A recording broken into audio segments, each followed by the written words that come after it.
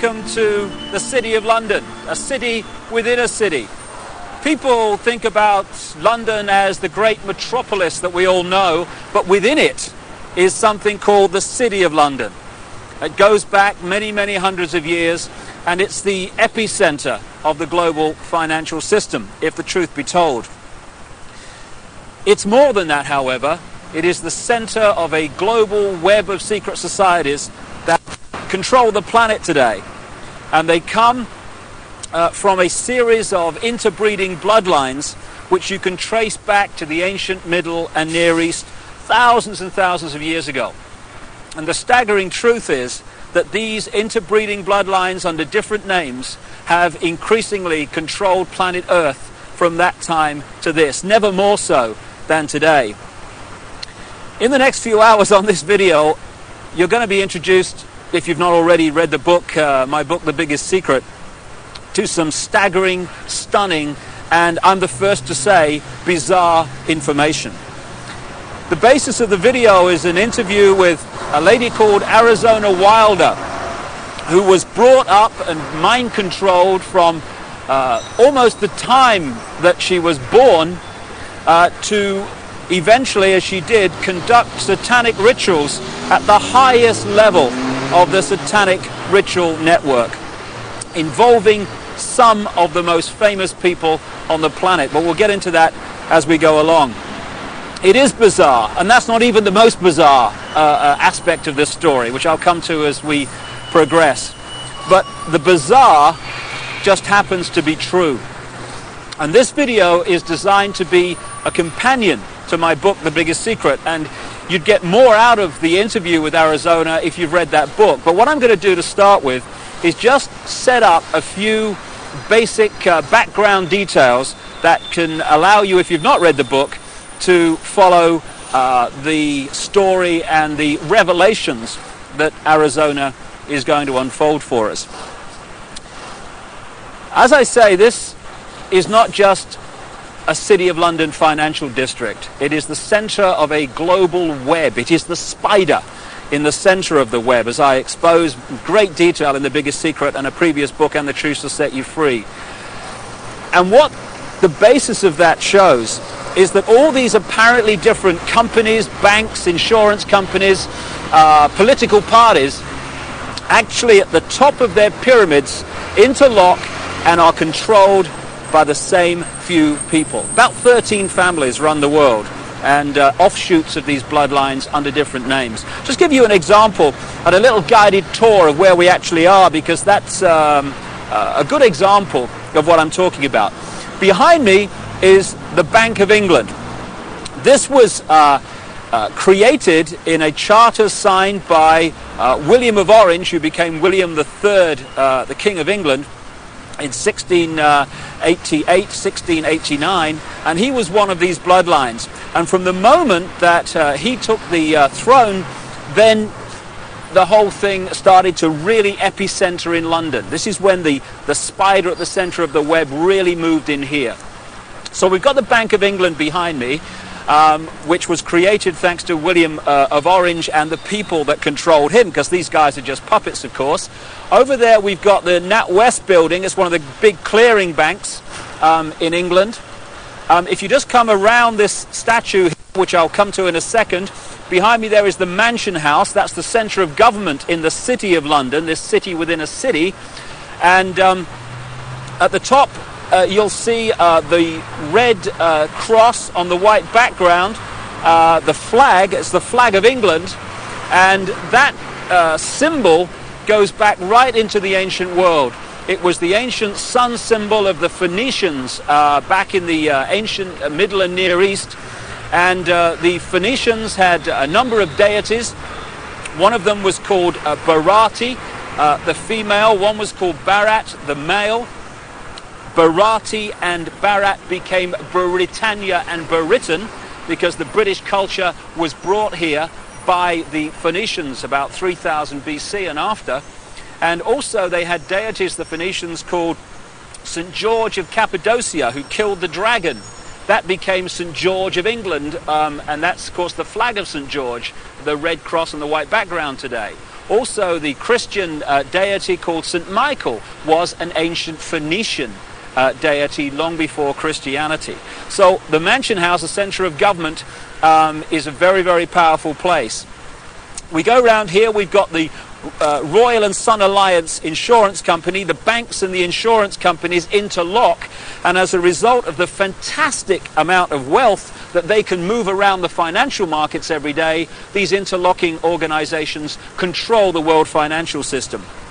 If a stock market goes down and crashes, it's because it's meant to crash. And not everyone loses, you know, when that happens. If you know it's going to crash, you sell your stock, it crashes, you buy it back at a lower price, you then push it back up again and buy other stock at the same time at a few cents on the dollar or whatever. And that means that a financial crash can actually lead, if you know it's coming because you're creating it, to amazing, uh, an amazing expansion of your holdings and your wealth.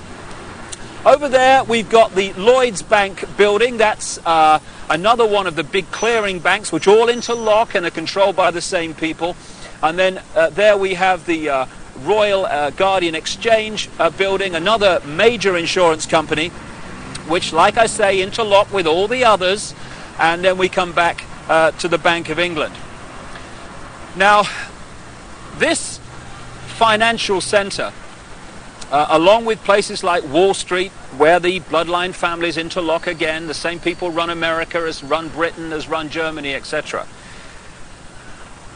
They have funded many, many times both sides in wars. And ironically and uh, sickeningly, uh, behind me, opposite the Bank of England, in the center of this square, is a memorial to those who died in the two world wars.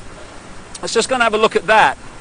What uh, happens uh, in terms of creating wars is a technique, a mind manipulation technique that I've called in my books problem reaction solution. Uh, and it works like this. If you want to introduce something, say centralization of power through the United Nations, uh, centralization of power militarily with uh, NATO, the North Atlantic uh, Treaty Organization, the biggest uh, military organization in the world that's expanding all the time.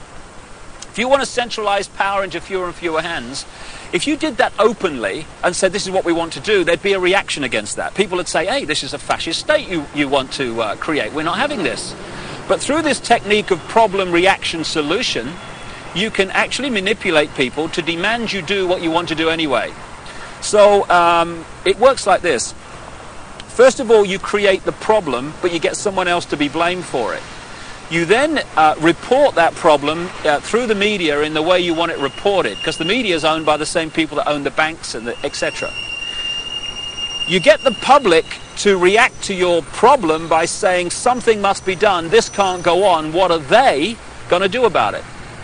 And at that point, they, who have covertly created the problem and blame someone else, who've gleaned that reaction of do something, then offer the solution to the problems they have created.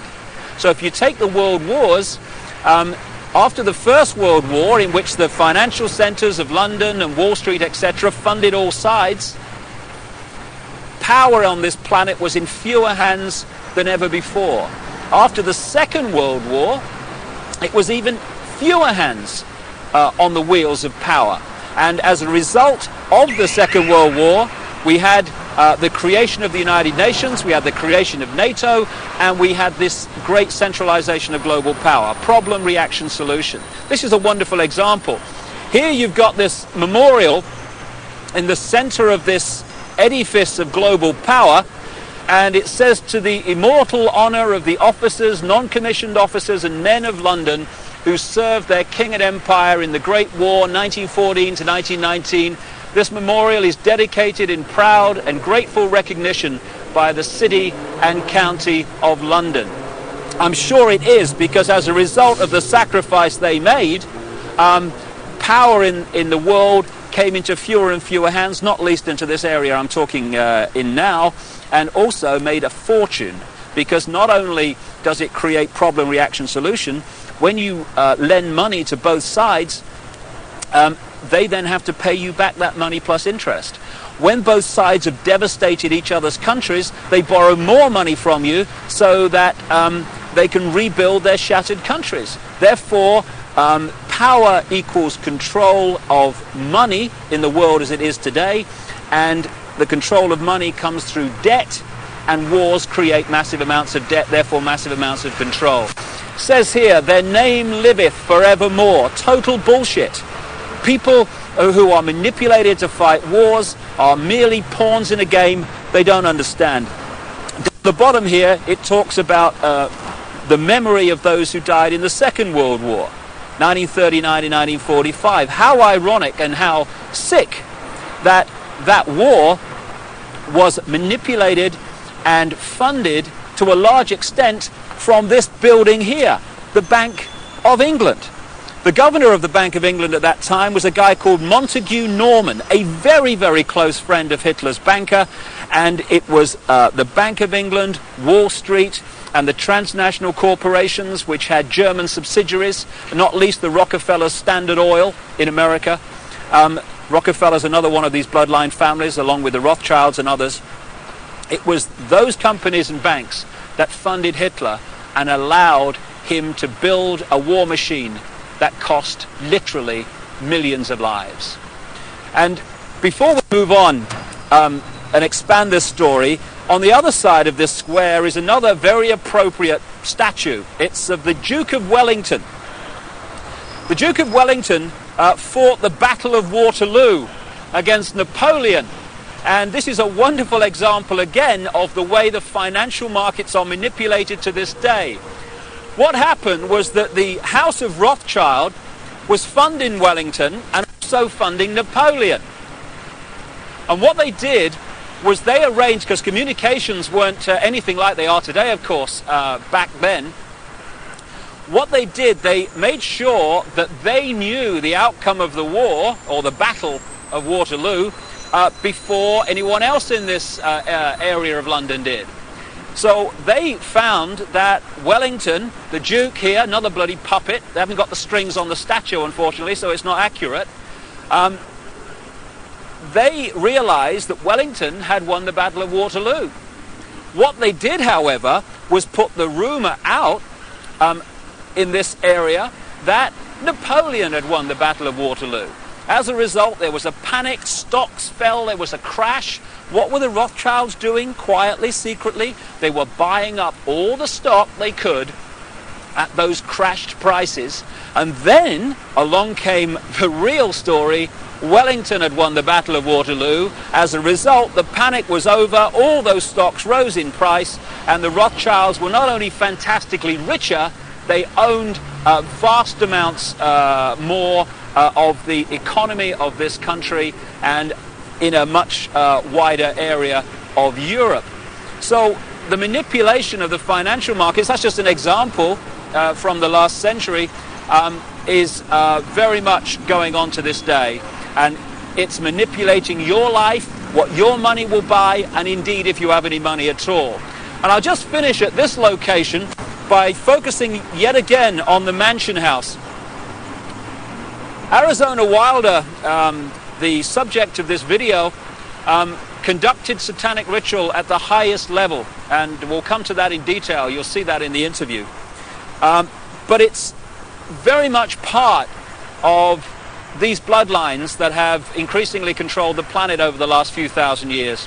When you follow them through from the ancient Near and Middle East up into Europe, where they became the European aristocracy and the royal families of Europe, or royal family if the truth be told, because they're just the same bloodlines under different names, um, over to America and into the modern world, one thing follows again and again. Human sacrifice, satanic ritual, blood drinking, and all this stuff.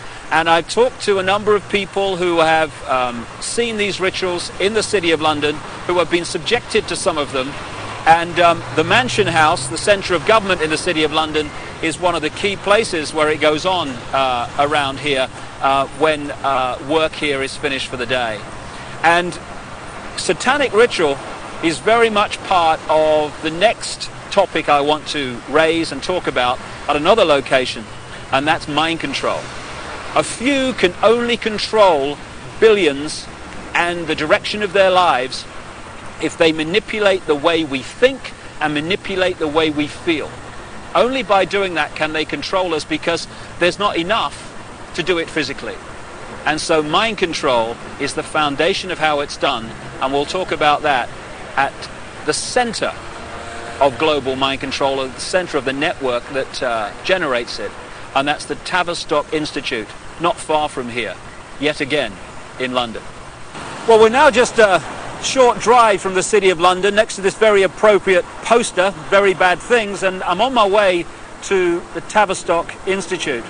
Um, it is the center of global mind control and the network that does the research and creates the data and advances the techniques to mind control people in many ways. When you think about mind control, you might think of the, the Manchurian candidate and some robot with a gun. Kill, kill, kill, kill. But mind control is much bigger than that. If you take the definition of mind control to be manipulating the way people think and therefore behave, then the question is not how many people um, are mind controlled the, in the world, it's how few are not. Because every time you read a news story, which is slanted to get you to see the world, a person or an event in a certain way, and you accept that slant and take it as truth, you're being mind controlled. Every time you uh, see an advertisement and it persuades you to buy something you don't really need, you're being mind controlled. So all these different techniques are used all the time to get us to think and behave the way this few, this clique, this elite want us to. Problem, reaction, solution, getting us to react to events and demanding solutions, um, the solutions the elite want us to demand, that's also mind control. So mind control is a vast, vast subject. And you know in the uh, in the streets of the cities of the world, or the towns of the world, you get these people with the, the clipboards that are asking you questions called opinion polls. Well, we're led to believe that uh, these opinion polls are to get uh, a feel for what people want so that we can give the people what they want. No, no. Overwhelmingly, those opinion polls are designed to find out if the programming, the manipulation of the public opinion, of the uh, collective consciousness is actually working. So uh, they'll ask your opinion on various subjects, and if 80% um, say, yeah, we think in this certain way about this subject, okay, the programs work, brilliant. If only 40% think that way, then the question is the manipulators ask, what more do we have to do to get more people to think the way we want them to think? So it's all about mind control and emotional manipulation. That's how it works. And we've just uh, reached a point here, um, a military establishment. The Honourable Artillery Company headquarters, SA.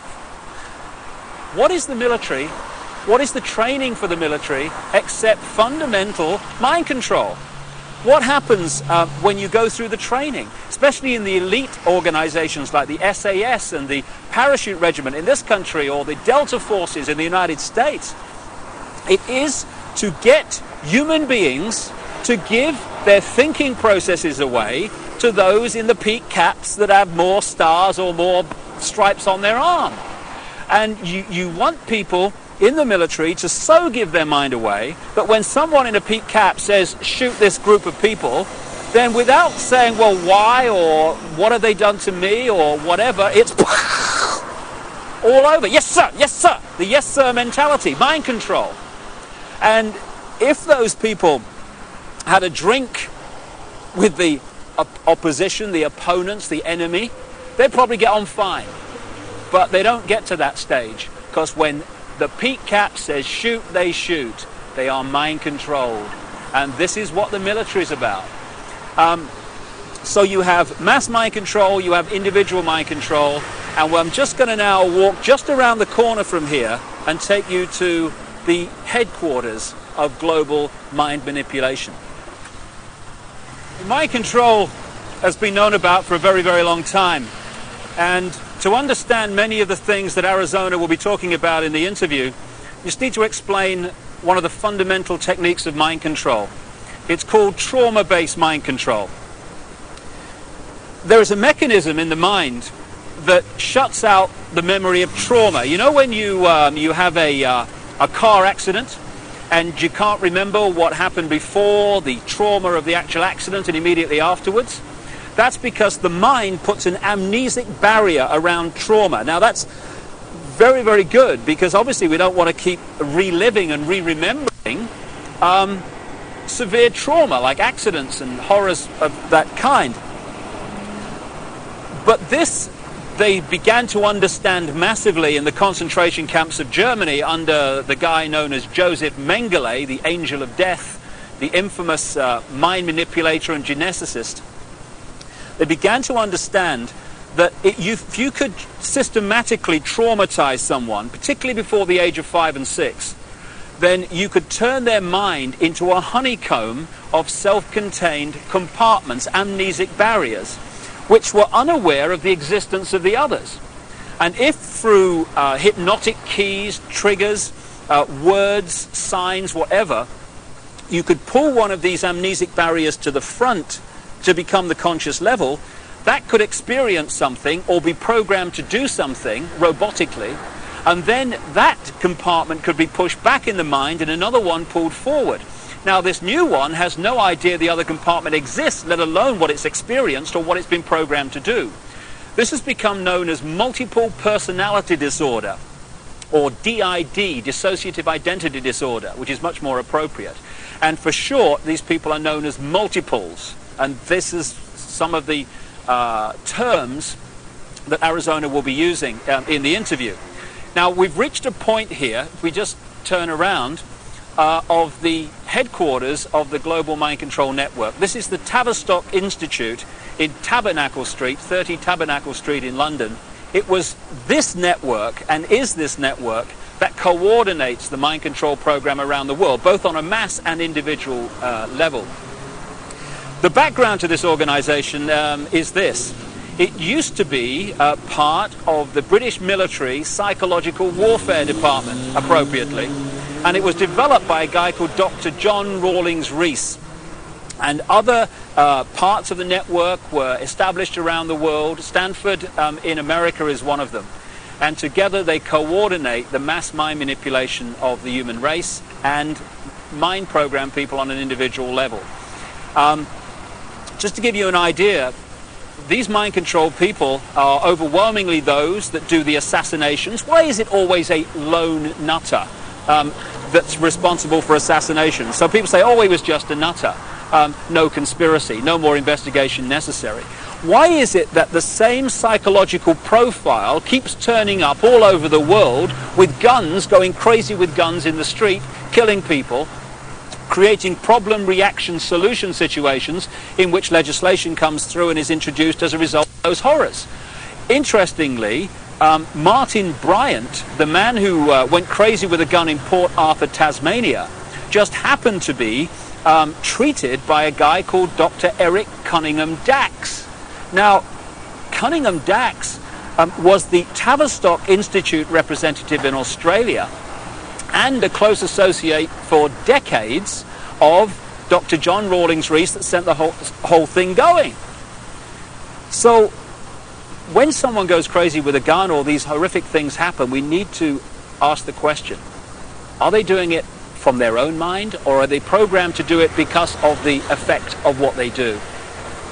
Now, Arizona Wilder was brought up from birth in these mind control programs. And her programmer was Joseph Mengele, the angel of death. And when he uh, eventually died, um, in the late 80s, because the subject of the programming becomes uh, so attached to the programmer, almost worshipping the programmer, when the programmer dies, often the programming starts to break down. It did with this lady, and that's why now she's speaking out and talking in uh, staggering detail about what she experienced and the people that she was involved with.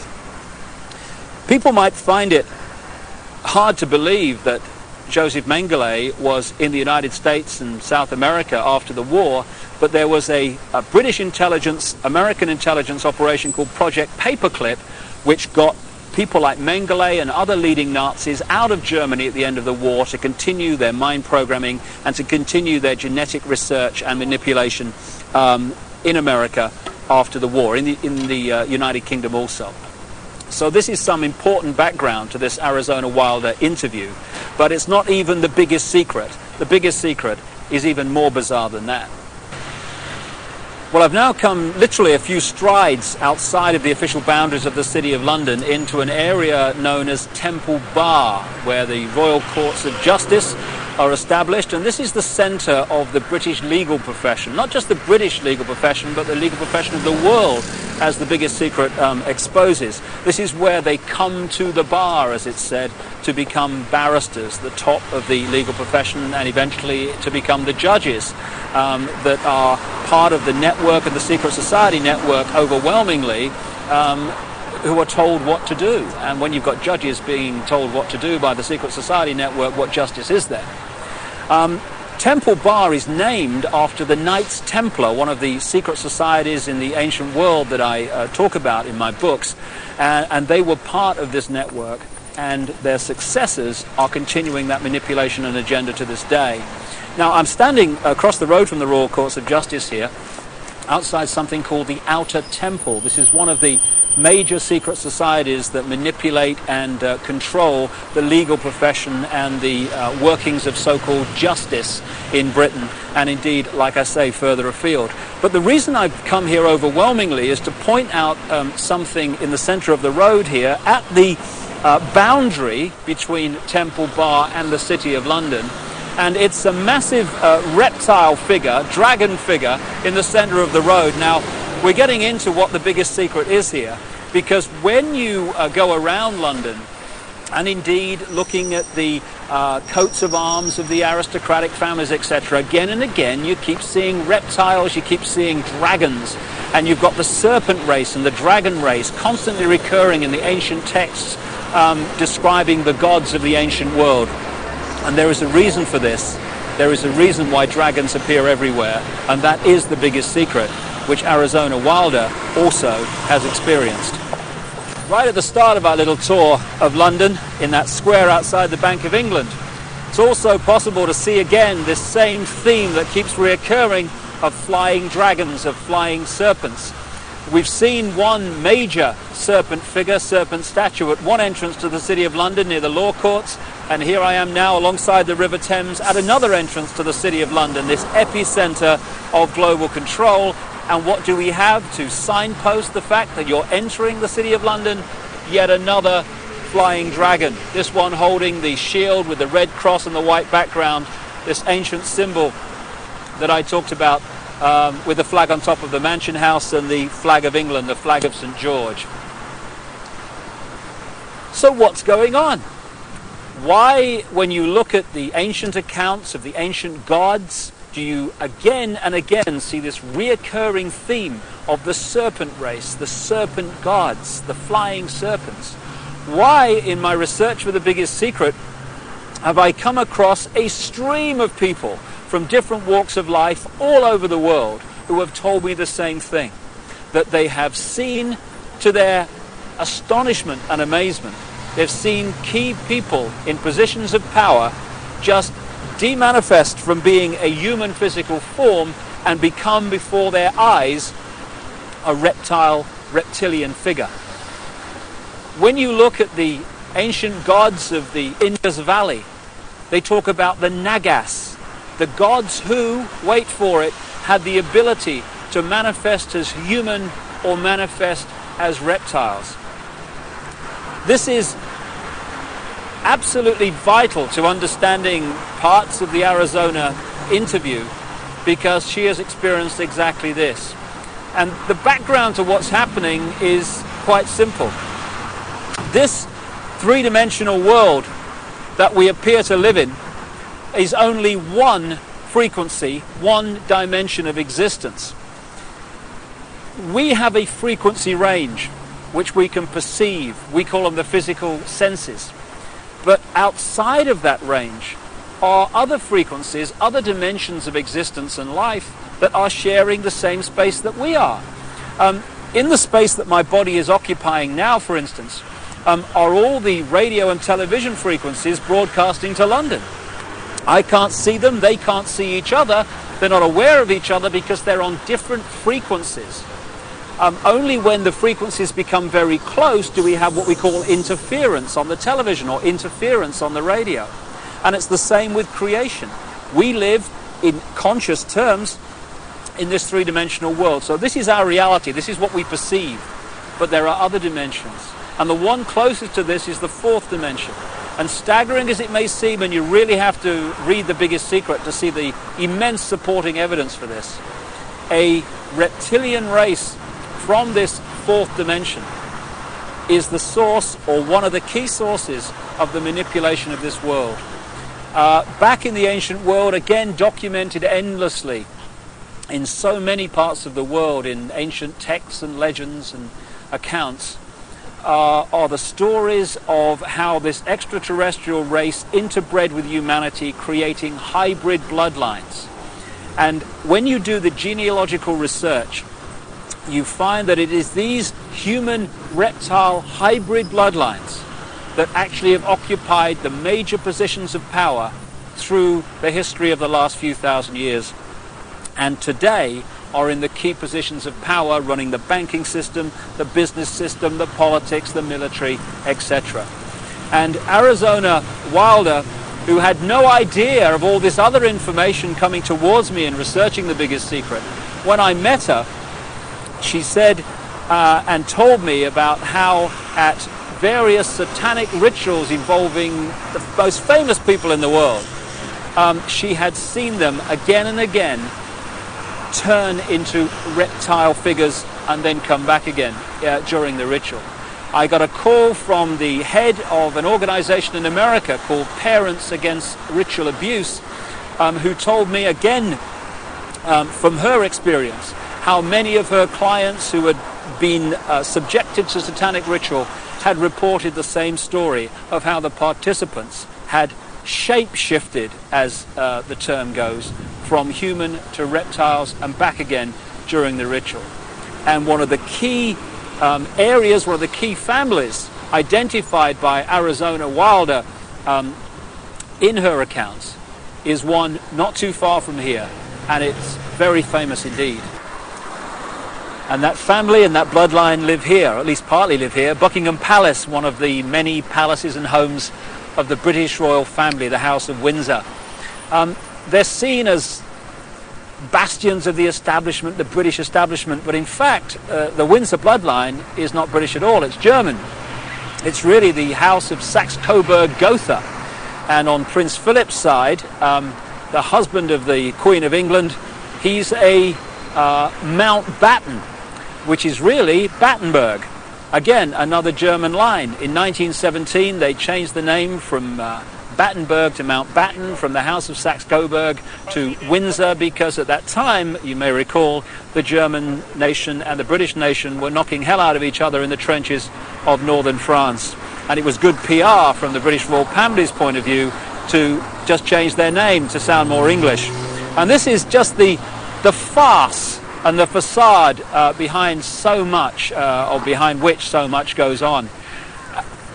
However, most people if not almost everyone on the planet, would find the fact that the House of Windsor are one of these reptilian human hybrid lines that shapeshift between human and reptilian form to be utterly, devastatingly ludicrous and unbelievable. I understand that. But the truth, the real truth, often is. And Arizona Wilder, in the interview that's coming up now, is going to talk about her experiences of seeing this happen. Well, I think that's all you need to know and uh, appreciate to understand the kind of information that uh, Arizona uh, Wilder is going to reveal to us now, except one thing. Across the millennium years is crunch time in this whole agenda, crunch time for the human race. This is the time when this network of interbreeding bloodlines wants to bring in its global fascist structure of a world government to which nation states would be administrative units um, of a world central bank and a world currency, a, a currency that wouldn't be cash, it would be merely electronic, for which there are fundamental implications for human freedom. And also the World Army, which is designed to be NATO, um, expanding and expanding as it is now, of course, to become the fully fledged World Army, World Police Force. And underpinning that little lot is designed to be a microchip population in which we are microchipped with our financial details, our medical details, etc., etc.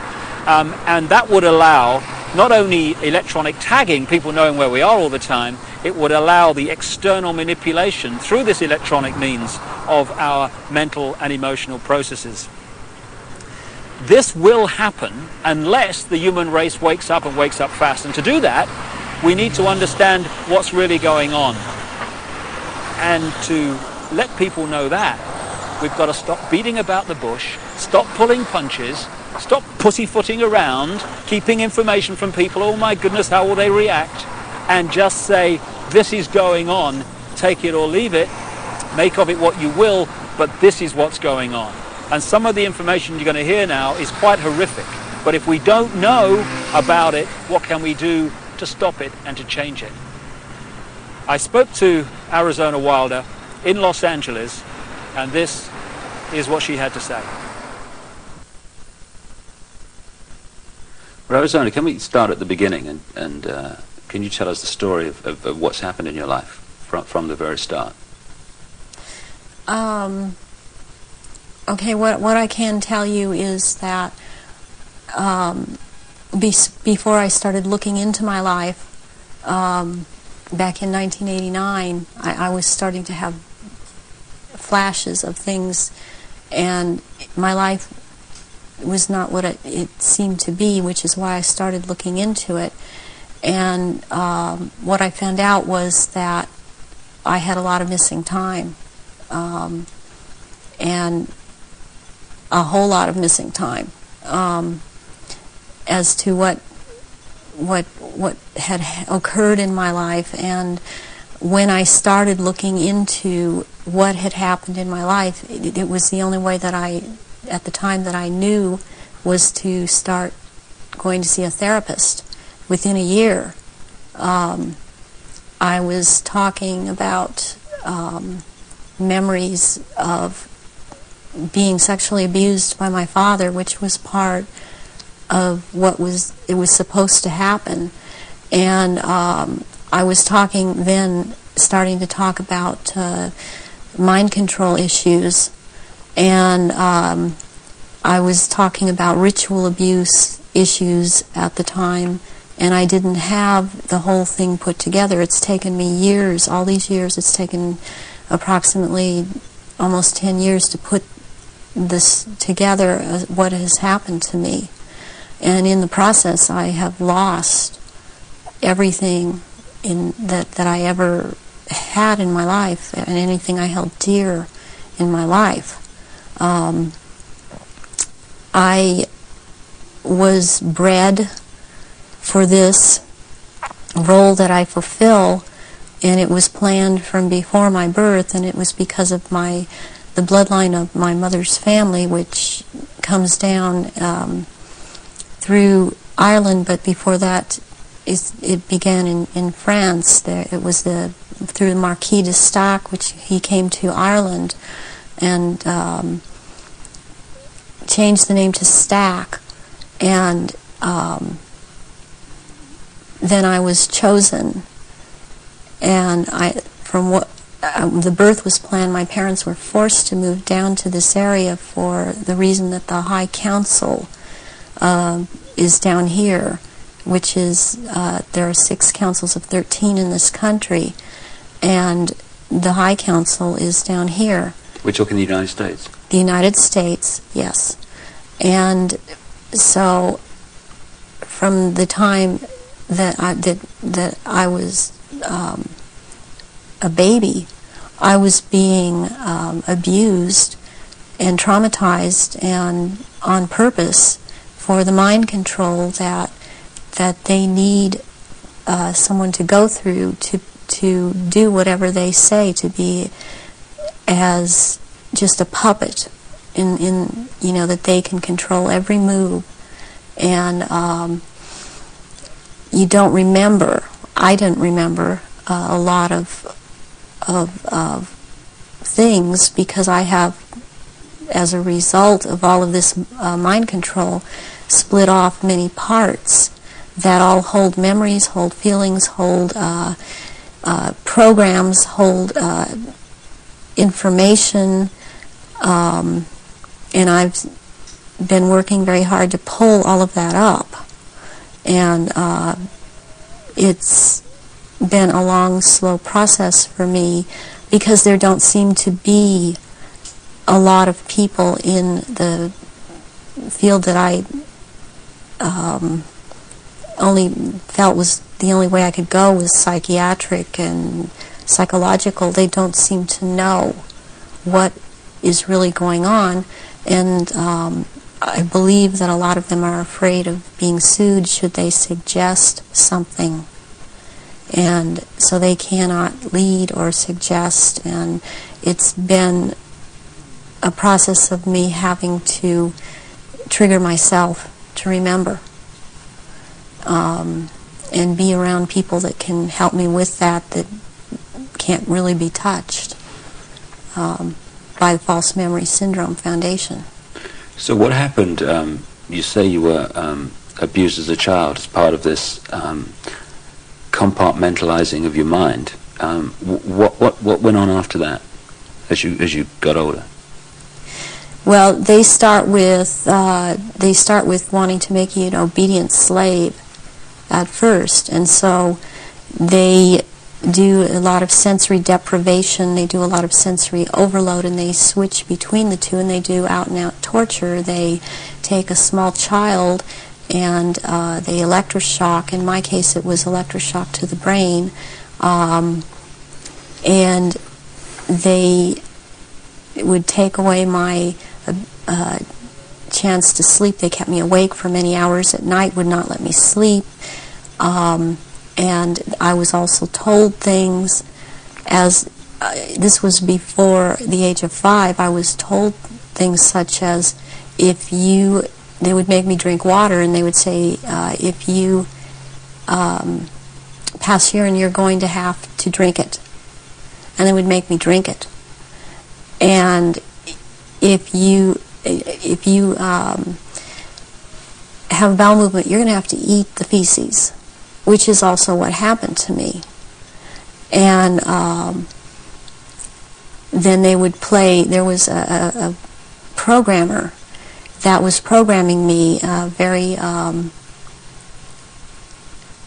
a very um, infamous person in, in, in history who actually has been in this country, and he was known as Dr. Green, who he actually was was was Dr. Mengele from Joseph Mengele from the concentration camps in Germany, and he was kept, or he stayed a lot at China Lake Naval Weapons Station out here in in uh, Southern California, in the desert area, and I would be around this man a lot, and he used to tell me that the uh, scar that he had on the left cheek of his face was actually from uh, he was into fencing and that it was from that but actually the the scar on his cheek was from one of his own programming techniques that he would put a child in a box and tell and with a sword and tell the child to defend the the box it if, if, even if it meant his own death then they'd tell he'd tell another child to break into the box and which this child would do, and then the other child would, would then jump out of the box and, and shove the sword or the lance straight through the other child. And at one point, he got in to, uh, into it where this child actually got him in the face with the sword.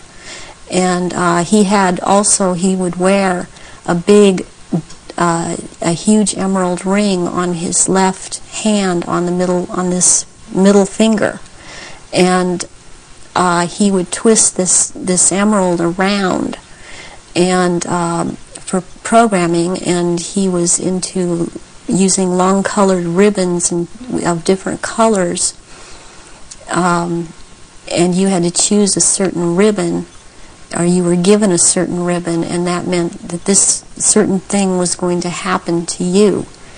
And it was like picking s- s- sticks out or drawing sticks out of a hand, you know, out of someone's hand. Um, I saw uh, games of Russian roulette played where it was chosen beforehand that a child would die and the child would put the gun up to his head and pull the trigger and this child would end up dying. But it was meant to uh, scare all of us, keep us in terror, as there were many other children that were around me that went through the same thing. Uh, I have run into um, people from my childhood that know that have known me, and I've no, recognized their names, and even if they change their names, I've and, and changed their hair color, as I have done. Uh, they have recognized me, or I have recognized them, and I know their name. They know my name. Um, there's there's just there isn't any way for this to have happened. Uh, it's just beyond coincidence. Um, and when you get when you get older, I mean, the, the they start taking this programmer in particular, Mengele, would take me to rituals. I I went to rituals with him all over uh, this country and in Britain and in France and um, it was it was known by intelligence agencies in this country that this man was here. They brought him here. Is that Project Paperclip you're talking about? Yeah, hmm through the OSS, and uh, my my family or my my so-called family uh, are all DID. They they have not. Uh, they are very well programmed, and they have not sought help. They have not gone in and tried to figure out what's happened. They they believe they've had this certain kind of life that they've had, and as far as they are concerned, I am crazy. Um, and they have much different memories of what I have, and I was always told certain things by my parents that, that my sisters were never told. Um, and biologically, I have to add at this point that my, my mother is my mother. I am not biologically related to my father. Um, and this has to do with the bloodlines, and his was considered impure. And this is all about purity of, of the bloodline. And uh, that is why I am involved in this. There are people that are involved in this that it is not so much because of bloodline, but they have a, the ability to dissociate and be used as slaves by these people. You say that you uh, come from a certain bloodline, and there is this obsession with bloodlines that this Brotherhood Illuminati have. Um, why is that? Because the what would, what first started coming out was about the Aryan, uh, the Aryans, the Aryans, and and the purity of the blood. And what it, what it's all about is that the blood and the menstrual blood contains something that is important uh, for the propagation of this race that is controlling things on this planet and there these these people that are in the organization that run that the council of, of 13 is under is and they have something called the grand druid council or the octagon is they're called the illuminati. And the illuminati are actually run by these 13 bloodlines, which are all of the royal families in in Europe and, and uh, in England, and um, they um, need the blood because they are, in fact, not human. They take human shape. They are reptilians, and they need the blood. The blood helps them maintain their reptilian shape, and it helps them maintain their sanity and it helps them to live in this world because they are not from this world. Does that relate to what the Nazis call vril power and what the uh, Hindus call the serpent power in the blood?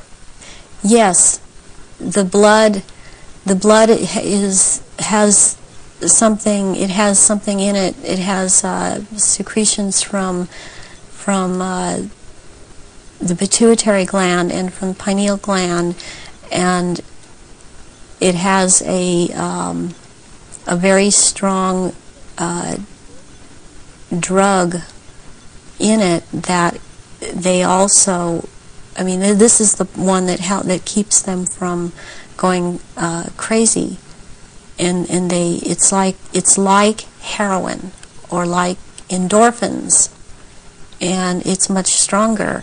But what they need is for it to be secreted in the blood is they need terrorization of of their victims. They before they are killed for their blood and or before or if a, a young woman is um, beginning to menstruate they need the menstrual blood and it they have to terrorize them to get this to come out in the blood and be secreted in the blood is this the um, uh, what other people have told me about that uh, at the point of great terror like the point of sacrifice um, there's an adrenaline that enters the bloodstream is this what they're, they're, they're looking for yes that and and this other uh, element comes and secretes out through the blood.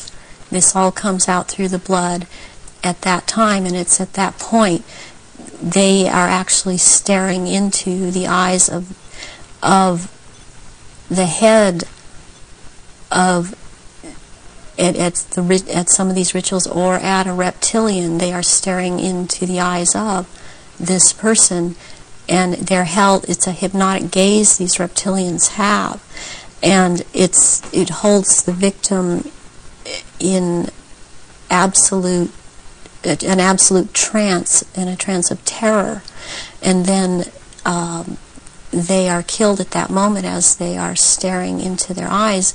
And not only do they do they they can't hold their shape when when this happens. The the human shape. the human shape they cannot hold. They go back into reptilian shape as this is happening because it, it it's a it's like an animalistic um, um, type of of excitement of the kill, and they um, oftentimes they can't they they will just rip into the victim and eviscerate them and start uh, eating the flesh of, of, of this person too, and the fat from the the uh, intestinal area is highly valued as they use it on their skin. Um, and they will drink and they drink the blood, and the blood is highly sought after, and it goes according also to rank within uh, these creatures um, as to who gets what when. And um, their sacrifices have increased in in the last. Uh, it started increasing in uh, the early 80s. The amount that they were doing is increased, and uh, they use um, a lot of druidic holidays to do this, but they have other days too. They've mixed all of these satanic and um, what are called satanic holidays and druidic holidays, and in order to have these uh, rituals, which ritual seems to be important to them, uh, but they also use it in order to drink this blood, they seem to need more. Have you any idea why it's, inc- it's increased since the 80s? Uh, so there are changes going on in the earth. It seems they're not able to hold their shape like they once were able to, and people see them shapeshift more and more, and they need the blood to try and maintain it, to try and maintain their human form. I believe there's a time coming that what I, what I, because of what I've been told, when they are not going to bother having to hold that human shape at as they had to before. And they want that time to come. It's almost upon us. So when you're talking about the fact that the veil is lifting on these reptilians so that people can see them um, far more easily and far more often, um, does this relate in any way to the fact that there is this um, desire to bring in this rigid structure, including microchipping and many other things, across the year 2000, um, which has become known as the New World Order? Um, is that coming in because um, it is known that the people are going to see what the game is and there has to be control of the people at that time? Yes, it's very connected. I, I started talking about the New World Order uh, back in 1990, and I was not. I was I was very uh, psychologically and physically affected so much by what was coming out. I wasn't watching television. I didn't. I was not aware that certain individuals in this country, uh, George Bush, were talking about the New World Order. I was talking about it because it, that is what was coming out, and, and knowing that, that the first time that inside of myself that I'd heard it was in conjunction with the Nazis, and that came from Mengele. And um, I started realizing that there was something going on, uh, and then it scared me. Uh, and I didn't really look into it for years, but I, I, I was being harassed constantly. I was, I, I was being told at one point I had someone telling me that I was being, and, and who was ex-Army intelligence, ex-CIA, telling me that I was being uh, monitored by the National Security Agency.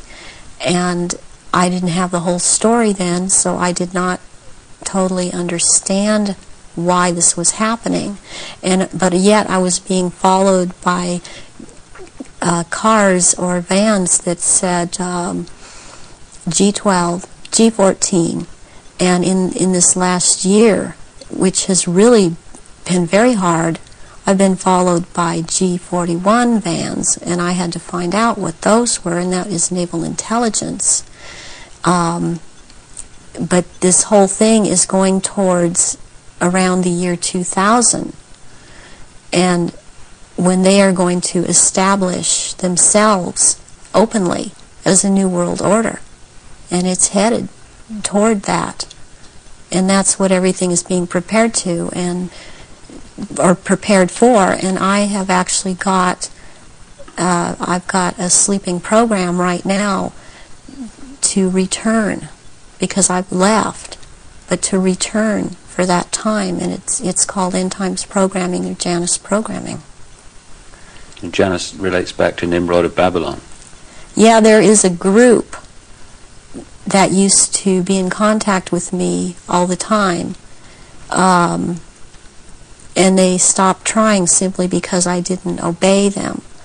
Uh, they would be in contact with me all the time. They're called Janus which is also the two-headed Roman god of change. And their headquarters is in Brussels, Belgium, in the NATO building.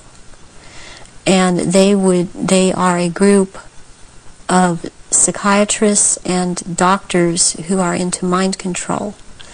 And they are one of the many groups involved with the Illuminati.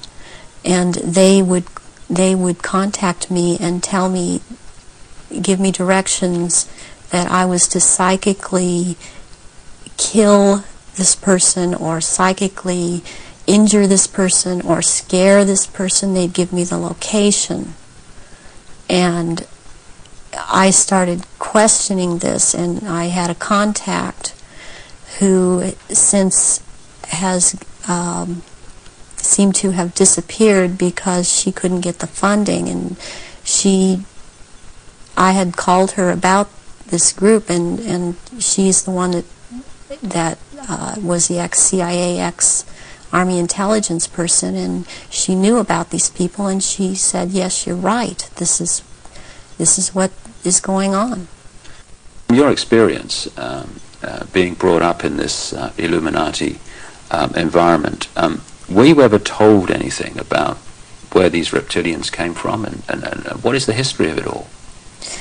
Uh, I was made to learn through Mothers of Darkness, which is a certain aspect of the organization, because that was an early, early part of my training. Uh, the history of what was the Illuminati on on this planet, and what I learned was that the Aryans originally were from Mars, and they came. They were the the reptilians came to that planet to. Uh, they came from another place. They came to that planet. They came to rule because they and and they wanted to mix. So they said with that race, and um, but they became the overlords, and the Martians or Aryans were seeking to escape from it. They went to the moon, and then were there attacked, and they then went to Earth and established culture here on Earth approximately 6,000 years ago. And at that point in time, uh, they were all they were doing well, and they were mixing with indigenous the indigenous population of this earth. They were getting along with, and then about 4,000 years ago, the Aryan or the uh, reptilians arrived here, and again began to take over.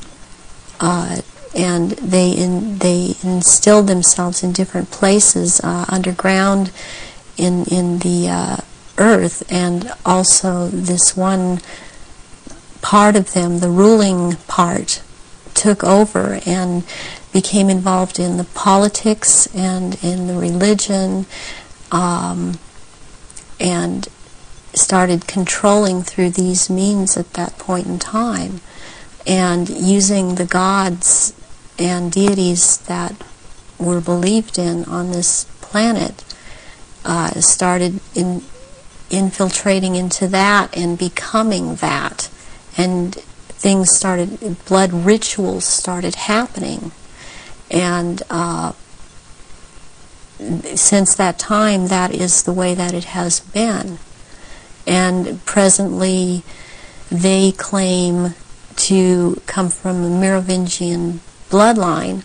They and they are all of the there are 13 bloodlines in Europe that all, all of what are called royalty are developed from or come from. And they include the Aryans in this, and there's been a big push in this century. Um,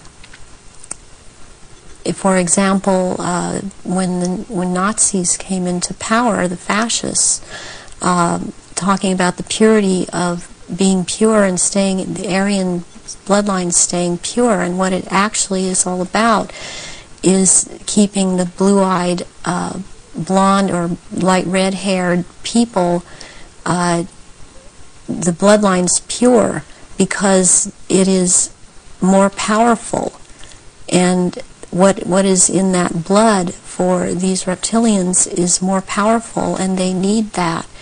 And when you start mixing it with people that were indigenous to this earth, then it is not as powerful.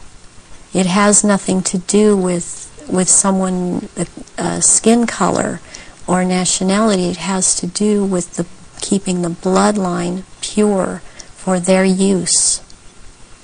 So, uh, blonde-haired, uh, blue-eyed people are, are the, the purest from, from the reptilian's point of view, um, and that, that they want to keep that bloodline pure because of how they need to use it. Yes. Uh, when I, myself, when I realized that it had to do with blonde hair and blue eyes, I could not do anything about my eyes, and I am not able to wear contacts or I would have brown eyes. But what I, one thing I did do was cut my hair off because that was part of the, the rank I was. My hair was down to my knees, and I colored my hair darker. And um, there were times um, when after I did cut it off, they had gotten to me, and so the hair would be light red. But that is being in compliance with them, and um, I did not want to be in compliance to them. Um, I want to expose them, and I this is part of it, and, I won't be what they want me to be. When you, you look at um, some of the ancient uh, accounts, like the Sumerian texts and, and, many other accounts, they talk about um, the gods interbreeding with humanity.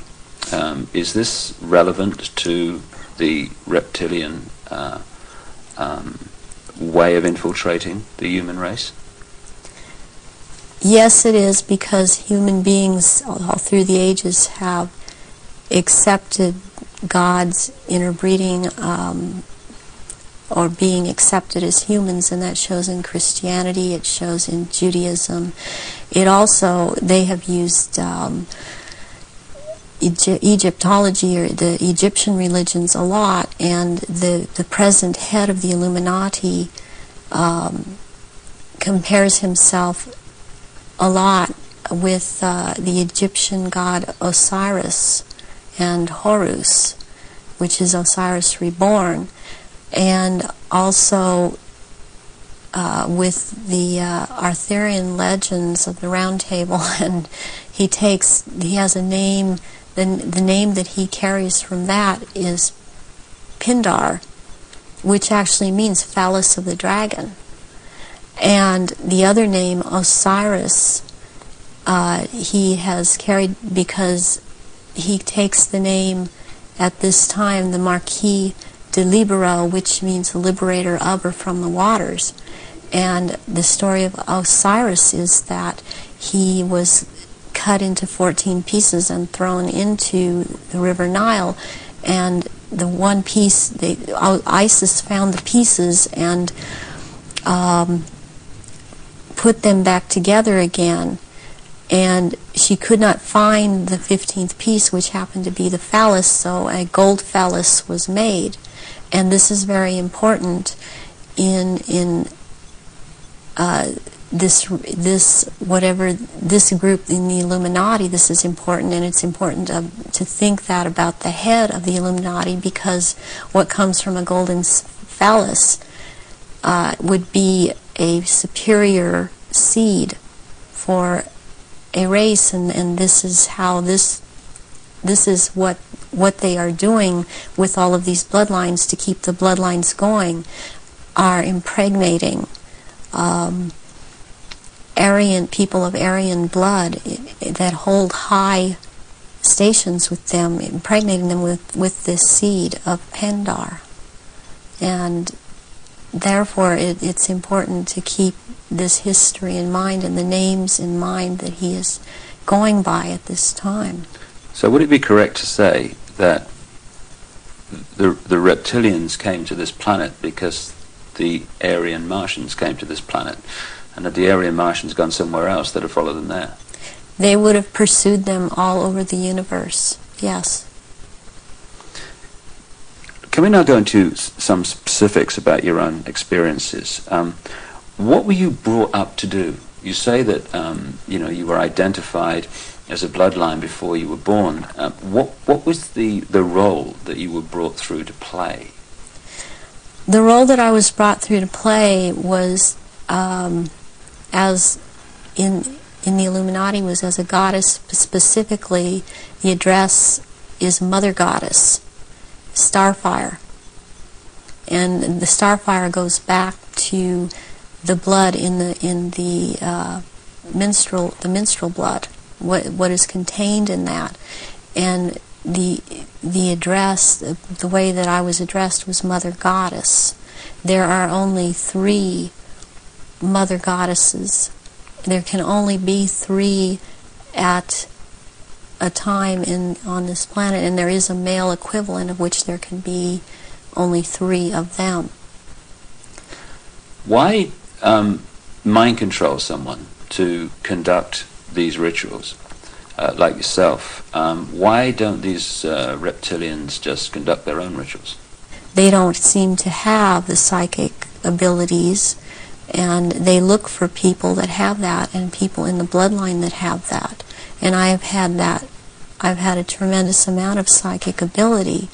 And so I was picked and bred from before birth, and this is also something that other survivors that have been in high positions have known about me and told me. What's the connection then between you having psychic abilities, those being recognized um, from the start, and you being brought through to conduct their major rituals? Well, there's it's kind of twofold. Um, first of all, they needed the psychic abilities because they control or attempt to control events because they I would have the ability to foretell what was going to happen and they needed the information to just try to, to control it to the an outcome that was good for them. The second thing is that during the rituals, um, you had to have psychic ability. You have to be very powerful in that way to call out the old ones that are also reptilian that come from another dimension. They actually they materialize from out of another dimension and are present at rituals, and they are so powerful and um, their their presence is is there's an such an evilness about them, and they want out of this other dimension, and they can't. They they have to be called out by someone who has that power, and the reptilians don't have this power. That's that's very important. That they don't have this power uh, to call out these uh, old ones that have to do with them, and. Uh, what is it that, that humans have that the reptilians don't have that means they don't have the power to connect interdimensionally and, and, and, and some humans do? We have the, the we have the ability to foresee, to have, to be able to become vibrationally higher um, and see into those levels, go into those levels, and um, in fact, agencies use this. They call it remote viewing. To go, that people, these uh, humans have the ability to go into the past, to go into the future, to go to other places, to astrally leave their body, astrally, um, and to see things that that it, uh, it, we've always had this ability, and in, um, it's like having the third eye which they don't have. They don't have this ability. So these, during a ritual, these old ones are called out, um, and they are what Christianity would have called the demons. Uh, they are called out, and they there is a there is a circle that is it has a hexagon in, in there, which is a powerful occultic symbol. And then there is a um, pentagram. And then there, in the middle of that, there is a triangle. And if you're the one calling them out, then you stand in the in the uh, triangle so that you're not devoured or taken by these creatures that come out. That creates an energy field around you which they right. can't penetrate. They can't penetrate it, and and they cannot get outside the pentagram. And they want out. They're always demanding to be let out. And so you have to be very powerful to keep them in line and to make them go back when it is time for them to go back. Why do the reptilians want to manifest these these quote demons um, at the rituals? It brings power to the rituals. It brings power to them. They are told things by these entities, and they are encouraged uh, to go on with what they're doing, and knowledge is imparted to them through these entities. um, but it takes a person with the ability to bring them out and make them answer because they don't want to cooperate. They they have to cooperate when the right person uh, has control over them. And that's to do with that person's um, energy and ability to use right. energy. Yes. You talked about the, the Aryan race coming from Mars. One expression of it seems to be very clearly what we call the Phoenicians. The Phoenicians had uh, two deities, uh, St. George, which became a British deity um, who defeated the dragon, which seems incredibly symbolic, and also St. Michael, who, according to the legend, um, banished uh, Satan or this negative force into the abyss. Um, is, is this symbolism of the abyss anything to do with the fact that these uh, reptilian demons of another dimension are somehow locked in a time space uh, prison and they can't get out and they can only get out when they're, they're brought out in that way? Yes, they want out of that dimension. They are they have been thrown into that dimension and they can't leave that dimension. And that's actually what the abyss is about, is being in a different dimension. It's um, it's like uh, something to do with the fourth dimension. And um, before I even knew, for example, what I was saying, or I realized what I was saying, I would be saying things uh, to my therapist and other survivors that the fourth dimension was a dimension to stay away from. Not at that time understanding the whole thing. Why do these rituals take place at certain key times of the year and so often are related to the phases of the moon? Because the moon has an influence on this planet. And also the sun. These take also take place during different things that go on with the sun. But the moon is it's kind of a really very cyclical thing with the moon. And they, it takes place on full moons new moons. Um, it has to do with the current religion or you know, what they're that they're using the druid uh, religion that they've taken and um, used, they still hold on to the Egyptology type of religion. They hold on to the Druidism, though, and they're currently calling themselves uh, Druidic or Druid. And Druidism is tied in with uh, the cycles of the moon on which uh, it has to do with the with planting, sowing, um, and uh, harvesting, and it there are so there are so many days that they can use from this to their own purpose and their own end that that they bring it about. There's a lot of ritual ritualization with Druidism, and they love ritualization. So take us through one of these rituals that you conducted at the highest level of this global brotherhood. What would happen? There were people that were bred uh, from birth. They were bred to be ritual sacrifices. Um, I I have a problem with uh, what what they uh, is said a lot today, especially by the False Memory Syndrome Foundation, that how could all of these people disappear? Or how could all these babies be born? I worked with a nurse midwife. We did home births. And it's very easy not to register a child when it's born. And then they have these children that they're kidnapping and bringing in from other countries. And no one misses them because these are third world countries. And children are the they have the most energy, the purest energy, the, they're the highest form of sacrifice. And uh, they will terrorize these children and mind control these children.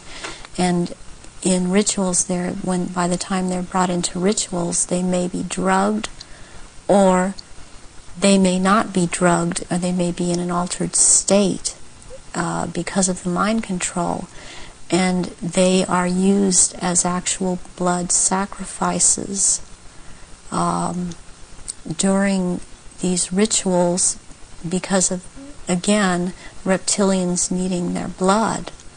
And they will take various organs from the, the sacrifices um, depending on what date the ritual may, you know, what, what, what the ritual may be associated with on that date, but they will also slit the throat from the left ear to the right ear, and the blood will be gathered in a goblet, and it will be dispersed among the reptilians and uh, dispersed among also after that among people that are have been participating in these rituals and seem to have it, even though they seem to be dissociated the uh, mostly these people are seem to be cognizant of what what they are doing. Are, are these rituals uh, rare? I mean how many are there that say go on uh, a year? I mean, we talking there is hundreds some, or thousands? Or There, there are things happening every month of the year. There is not a month in this 12-month system that something is not happening, and uh, it's usually it's more than one. I mean, it's every full moon. It's, uh, I mean, and then the very important rituals are the summer solstice and the winter solstice, and then there is the vernal equinox and the fall equinox. And there is Samhain, and there is Beltane, there is Imbolc in February, there is Lughnasadh, which is in uh, the beginning of August. Um, there's a whole week leading up to Beltane it's, and also leading up to Samhain that's Oh. called Grand Climax. So May the, May the 1st is Beltane. May the 1st is Beltane. Halloween, particularly in America, has become like a, a mini Christmas, almost like a holiday of uh, celebration with a trick and treat and all this other stuff. But what actually happens outside the public arena um, that night of Halloween and into November the 1st? Away from the public arena, there's a ritual that's taking place um, in six different locations in this country for all of the uh, councils of 13 in the area that I'm in. It is the East Side Christian Church on 7th and Temple Street in Long Beach. And it is for the, the High Council of 13.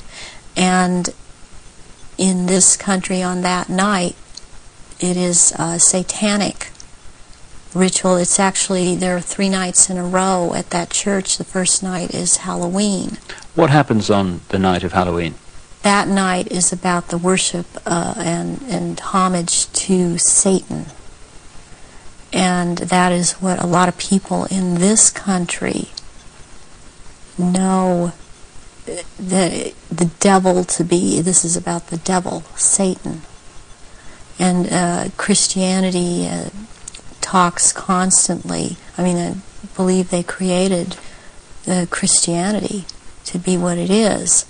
Um, and so they also have created this Satan.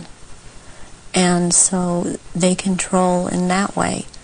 And on that night, there's a lot of, of bloodshed and there are sacrifices made to Satan. There is a person who plays the part of this in this in, this high council uh, that has to do with this high council. He's not on the high council, but he has to do with playing the part of Satan. He is uh, a televangelist on uh, TBN. He used to be. Uh, he filled in for a little while as a lead singer on Iron Butterfly many years ago, and he has long blonde hair. What's his name? Um, at this point, I don't recall his name, it, and it it just I recognize his face. I saw it recently um, on TBN, and then this is his cover, or he is DID, and he plays this part, uh, the great um, deceiver Satan, on that night on Halloween at this church, and uh, that is what happens on uh, Halloween. And I mean, what else I must say, which is going on with Halloween in this country, it's just becoming so popular. It is also to uh, desensitize people uh, to the whole thing, and even this backlash Christian movement that wants to call it the Harvest Festival, it does not realize that the Harvest Festival has to do with uh, Druidic, Druidic uh, religion. And again, they are still doing the same thing and celebrating the Harvest Festival. That's what the Harvest Festival is about.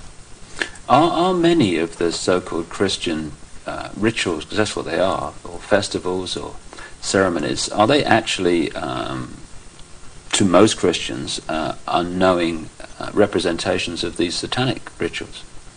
Yes, they are. Uh, one, for example, uh, Christmas has to do with a. Uh, it, it's a time. Um, it comes right after the winter solstice, which is a satanic or a druidic celebration. Uh, it has to do, there's a day in there called that day, which is not a day. It has to do with the killing of the old king and the birth of the new king, which is a Druidic day. Um, on the 24th and the, or the 25th at midnight, there is a ceremony that's specifically for children, and it's called the last bulb on the tree. Where does that come from? That is something that's used with children. It's part of programming them into the whole thing. And uh, there were there were things that would happen to the last the child that hung the last bulb on the tree on Christmas Eve, as it was a common practice to decorate the tree on Christmas Eve, and the tree in itself is a phallic symbol, and uh, it's it's paganistic. Um, Christmas is based on pagan day. And uh, back to Roman times, and, and uh, Christians have given it, uh, they think they have given it a Christian meaning, and it means something else, and it does not. But there is the case that with the last bulb on the tree that has something to do with what happened to this little girl, JonBenét, JonBenét Ramsey. Yes, JonBenét Ramsey. And uh, this occurred on this night because of the day it has to do with. It comes right after the winter solstice, which is a satanic or a druidic celebration. Uh, it has to do, there's a day in there called that day, which is not a day. It has to do with the killing of the old king and the birth of the new king, which is a Druidic day. Um, on the 24th and the, or the 25th at midnight, there is a ceremony that's specifically for children, and it's called the last bulb on the tree. Where does that come from? That is something that's used with children. It's part of programming them into the whole thing. And uh, there were there were things that would happen to the last the child that hung the last bulb on the tree on Christmas Eve, as it was a common practice to decorate the tree on Christmas Eve, and the tree in itself is a phallic symbol, and uh, it's it's paganistic. Um, Christmas is based on pagan day. And uh, back to Roman times, and, and uh, Christians have given it, uh, they think they have given it a Christian meaning and it means something else, and it does not. But there is the case uh, that with the last bulb on the tree that has something to do with what happened to this little girl, JonBenét. John Benet Ramsey. Yes, JonBenét Ramsey. And uh, this occurred on this night because of the day it has to do with um, and the ceremony that it has to do with. And there were rituals done on that night to these little children. So that is totally tied into it. I have heard that um, JonBenét's name uh, is relevant um, to the rituals. Do, do, do, you know anything about that? JonBé. John Bay is a satanic deity or Satan. JonBé is a name for Satan. Um, and that that name is just closely closely tied in. It's so close, uh, and I don't understand why it hasn't come out. And no, uh, I that I know of, it hasn't been talked about. But that is why she was killed on the day that she was killed, and uh, her family, as far as I'm concerned, her family is is involved in in in this, and that there's always a price to be involved in it. She was the price. Um, this little girl lost her life. Can we talk about some of the um, famous names that people around the world would know who, in your experience, have um, taken part in these rituals that you've conducted? You say you've conducted them in Europe and uh, the United States. Can we start with the United States? Uh, yes, um, I have seen at rituals, I have seen George Bush. Um, I have seen um, Madeleine Albright. I have seen Henry Kissinger. Um, I have seen uh, Ronald Reagan. Um, and I have also, by the way, uh, seen his wife, Nancy Reagan.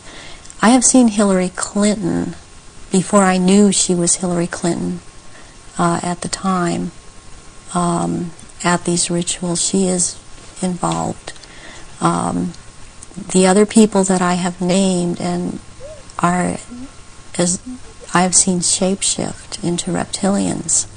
Uh, I have not seen Hillary Clinton actually shapeshift, but I, she is involved. Um, I have seen the two sons when they were young, the two sons of um, of George Bush present at these rituals. Are these the sons that have become governors? Yes. One is in Florida and one is in Texas. Um, I have seen, uh, uh, did I mention Jay Rockefeller? Um, and he shapeshifts.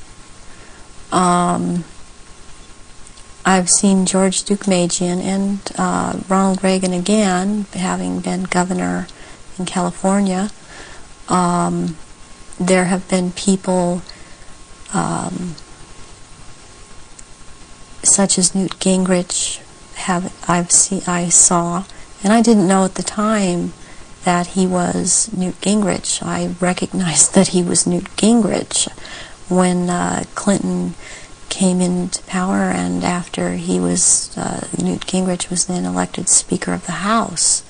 And I was horrified to realize that this man was also there. I'm, all of this is, has um, affected me to the point I don't vote.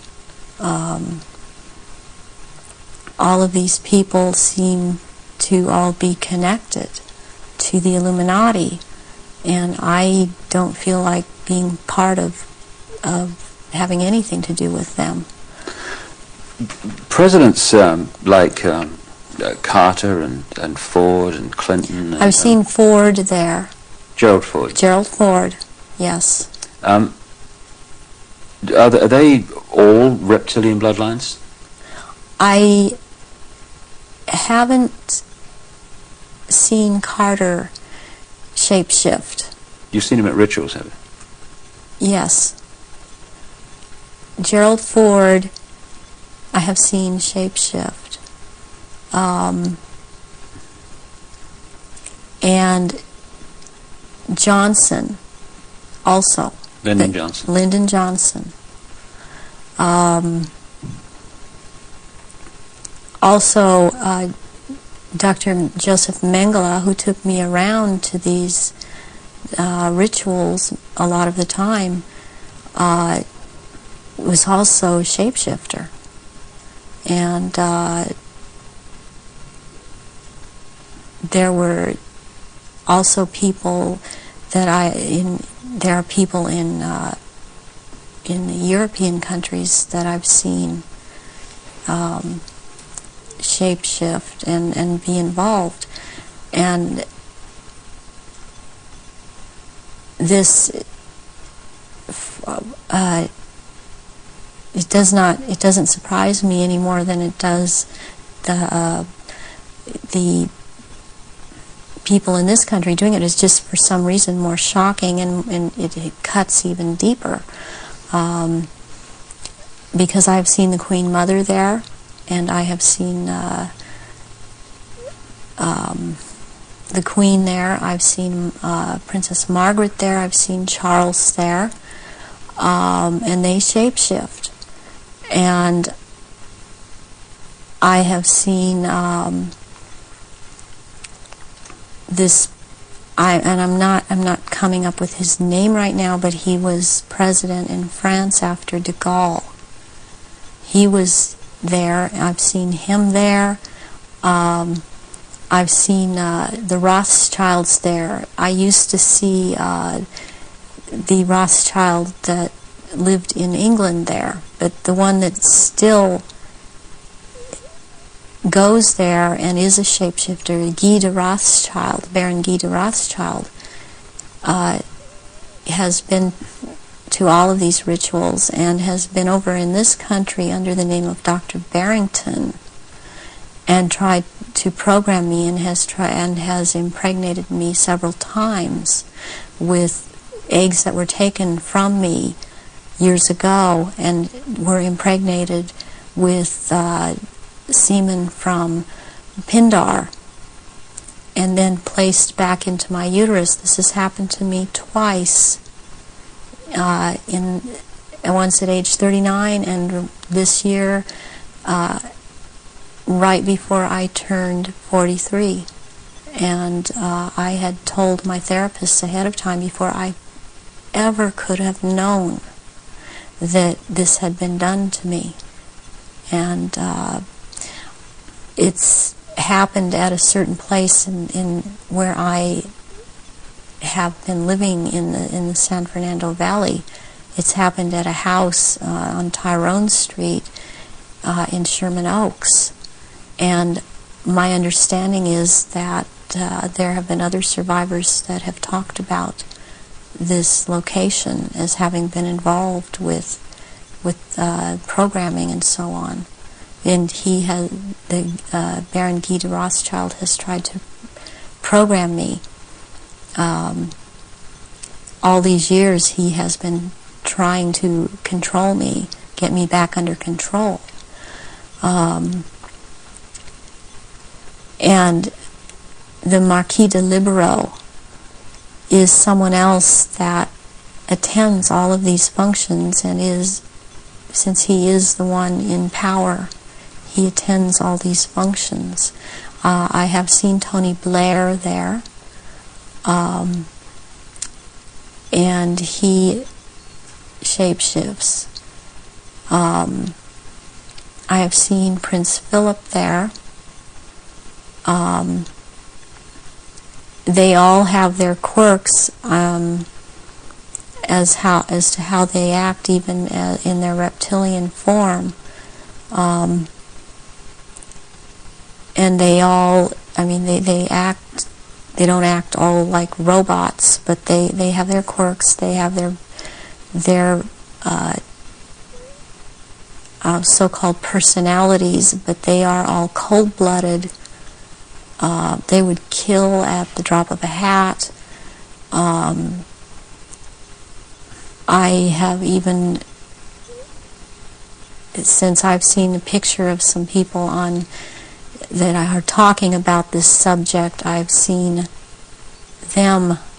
I've, when I've seen their pictures, I've recognized them. I, I did a double take a few weeks ago when I saw again someone who's been talking about around this subject, and it seems to be uh, popular right now. Who's that? Uh, this man by the last name of Sitchin. Uh, I've seen at rituals, and he is a shapeshifter. And um, I did a double take when I saw when I saw the picture of him because I recognize him and uh, there's another person that I've seen uh, um, this uh, Gardner uh, Sir Gardner. That Laurence Gardner? Sir Laurence Gardner. Uh, and he had recently written an article uh, that was out in Nexus magazine. Uh, part of it was about uh, the menstrual blood, and what really triggered me was when he ca called it starfire, because that is one of that is the name of one of the aspects of the three uh, women who are are the, mo dressed mother goddess that is my name in in all of this. Um, so this man I have seen he has lots of power in within this uh, sect uh, reptilians um, and he's someone that is you would wa- you would want to watch out for um, out, outside of this too um, as is this Sitchin person. Um, what do you remember about uh, Zecharia Sitchin? Zecharia Sitchin was someone in the rituals who are in attending the rituals who was not a major player in in as far as the rituals went, but was someone that that others present did not make remarks at or were very careful as to what they said around him. And um, he was talking about, he would be talking about um, doing away with people, uh, persons that, that were in his way or were not, were putting out information that, that he didn't feel that he wanted put out. Um, he he is very much a disinformer, um, and that is his job to disinform about what is going on with the Illuminati and with the reptilians. He actually warned me off from investigating the reptilians, interestingly. Um, where do the rituals take place that you've been involved in? uh, involving the, the, the, British royal family? Uh, Glamis Castle, Stonehenge, um, Balmoral Castle. Um, I have, reason to believe there was a there's a church, and I think it may be Westminster Abbey. Um, and there is a, a Mothers of Darkness castle or chateau in Brussels, Belgium. They've been there too. And also in France, uh, the Marquis de Libeaux Pindar has a castle in the uh, Alsace-Lorraine region of France. And I believe it's in the Alsace region. Uh, that he uses.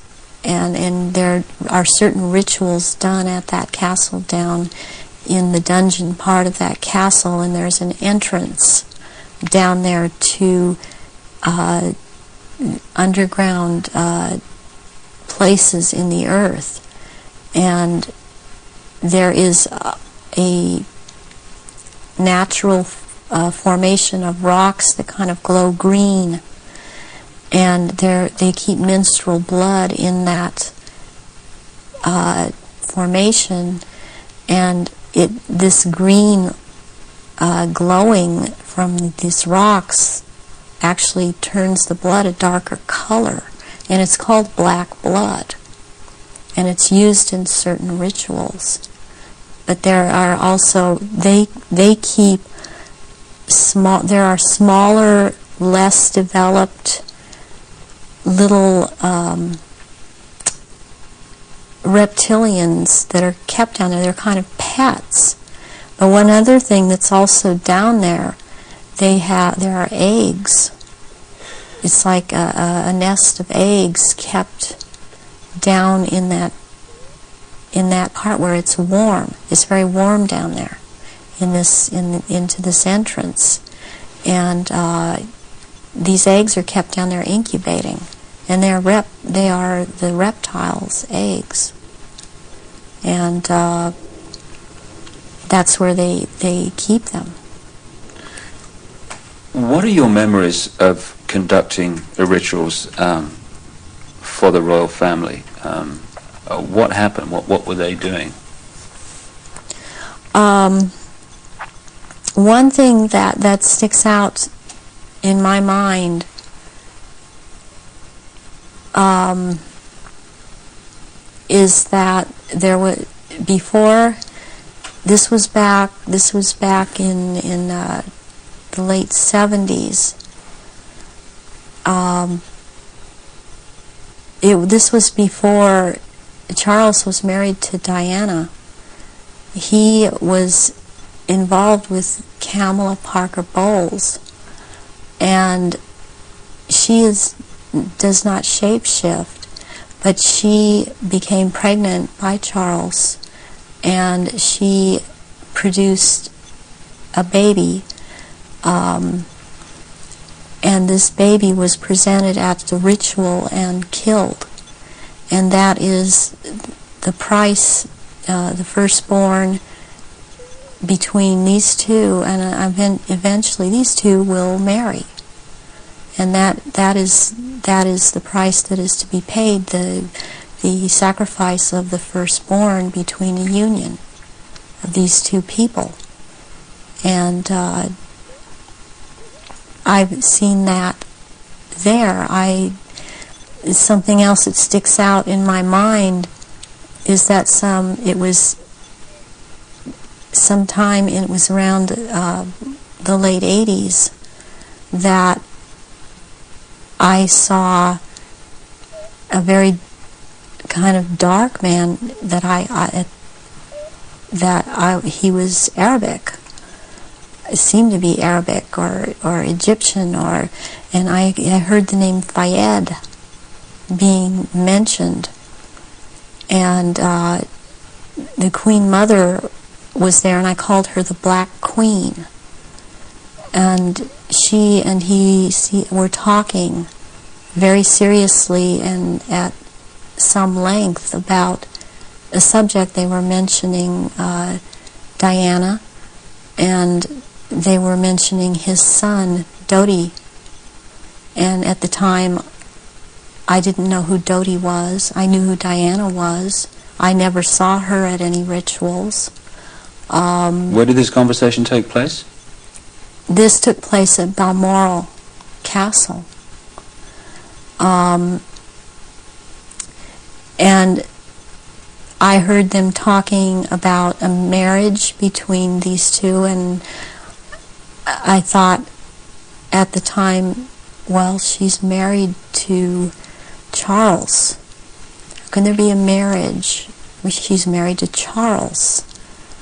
I didn't understand why the the the uh, Queen Mother and uh, uh, this person that I now know to be Dodi Fayed's, because I heard Fayed, um, Muhammad Al Fayed, um, talking, and I'd seen them together at. Uh, I saw them at Balmoral Castle. I overheard the conversation at Balmoral, but I'd seen them also at uh, Mothers of Darkness uh, Chateau in Brussels, and they were talking about uh, union between Diana and uh, his son Dodi back in the late 80s, and I did not understand at that time because I understood Diana to be married to Charles. I knew that she was married to Charles and they had two children.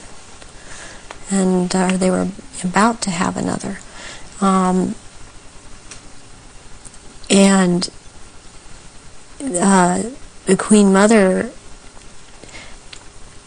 I picked, I all I could pick up was that that for some reason that there was a malevolence towards Diana. And uh, Diana, I had never seen at a ritual. Um, I wondered what she knew about all of this. What have you seen um, the royal family do, the Queen, the Queen Mother, and uh, the other people you've seen in the rituals? What, what have you seen them do? I've seen all of them drink human blood and consume human flesh, and uh, they have their own um, goblets in which they have blood, and these these goblets are encrusted with jewels. Um, and they also have their own daggers, and that that the dagger goes into the goblet, and they stir the blood around with it, and it, it's also a um, what it is. It's a symbol of the of phallus going into the vagina, and when they're doing this, and um, I've seen them do this, and they some of them have even like the the uh, Queen Mother I saw with she had her own. Um, little I, would like almost it's between a, a, very elaborate ornate chair or a throne kind of thing brought in for her to sit and um, because before these rituals actually start um, there is a kind of uh, people um, move around the room and talk um, or, or, recognize one another. It's a formal kind of a ritualistic setup, the way they talk and the way they they intro- they're introduced. They introduce each other. It's like a court. What are they wearing? They're wearing uh, robes. They're not wearing anything underneath the robes, and the robes are um, very ornate. Um, they all have the one thing in common they have is they have a, a red color like blood, and some of them have purple, and um, they have uh, gold uh, kinds of lines running through them. They have the uh, the Merovingian um, symbol of France, the uh, fleur-de-lis, um, and um, there are jewels that are sewn in at certain points on these robes, and um, they wear these robes, but they don't wear anything underneath the, the robes because what is going to happen, what the rituals are all about, they're going to shapeshift, and they can't have anything on under the robes, and there are there are orgy kind of things that go on at the rituals also and uh, involving the, the, royal family of Britain. Yes, involving the royal family of Britain and and the sacrifice and the eating of, consuming the sacrifice, and they are involved in that. You've seen them do that. Yes, I have seen them do that. People in Britain, uh, listening to what you're saying, um, would obviously be staggered. I guess anywhere in the world, but what would stagger them mostly is um, in Britain, the Queen Mother has an image of being the nation's grand grandmother. the nice old lady, and uh, good old Queen Mum, what a lovely lady. What's your experience of, of the Queen Mother? She is very cold in reality, and she is very cruel, and she is very um, different than she comes across to the public. Um, she's cold-blooded. Um, she, if she feels that you are someone beneath her, even uh, in the Illuminati, that you're at her equal or your station is above her, she will not speak to you. She will not recognize you. Um, she obviously, from what I see, enjoys consuming human flesh. Um, it's sickening. Um, the one person that she seems to be afraid of is Pindar. People would also look at the Queen Mother's um, elderly, frail stature and uh, find it very difficult to see uh, her taking part in rituals and doing anything, if you like, active. Um, do they go into a different state um, uh, in terms of age and strength and, and all these other attributes when they actually shapeshift? Yes, uh, the the human body that they that they choose to occupy or take when it was young, it ages. But when they take the reptilian form, they still these reptilians live hundreds of years, and so they have to have taken more than one human body to live in. Uh, there, a lot of them are much, much older, and I'm including the Queen Mother in this, uh, older than than people think that that she is. She's been in more than one body, human form, and when the time comes, if it is time for her to go on, and it has been chosen that she still has, I mean, it's known that she still has life or years to go. Again, she will be put into the body the essence of her and the reptilian form will go, or the essence of her will go into another body that is also has the ability to shapeshift into reptilian form. One of the one of the pure reptilian human bloodlines. Yes. What happens when? Take the Queen Mother as, as an example. What happens when they shapeshift? I mean, what do you see? Uh, you start to see changes happen, and they're happening so fast uh, that it's almost it, it's it's the closest thing that I I've seen to it is uh, what they're now doing with computer technology. It just it, it's just a, a literal transformation that happens very quickly, and they get taller and they get bigger, and um, they're they don't look at all as, as reptilians like they do as humans. Um, and thus, the wearing of the robes, because if they were in clothes, the clothes would be torn apart.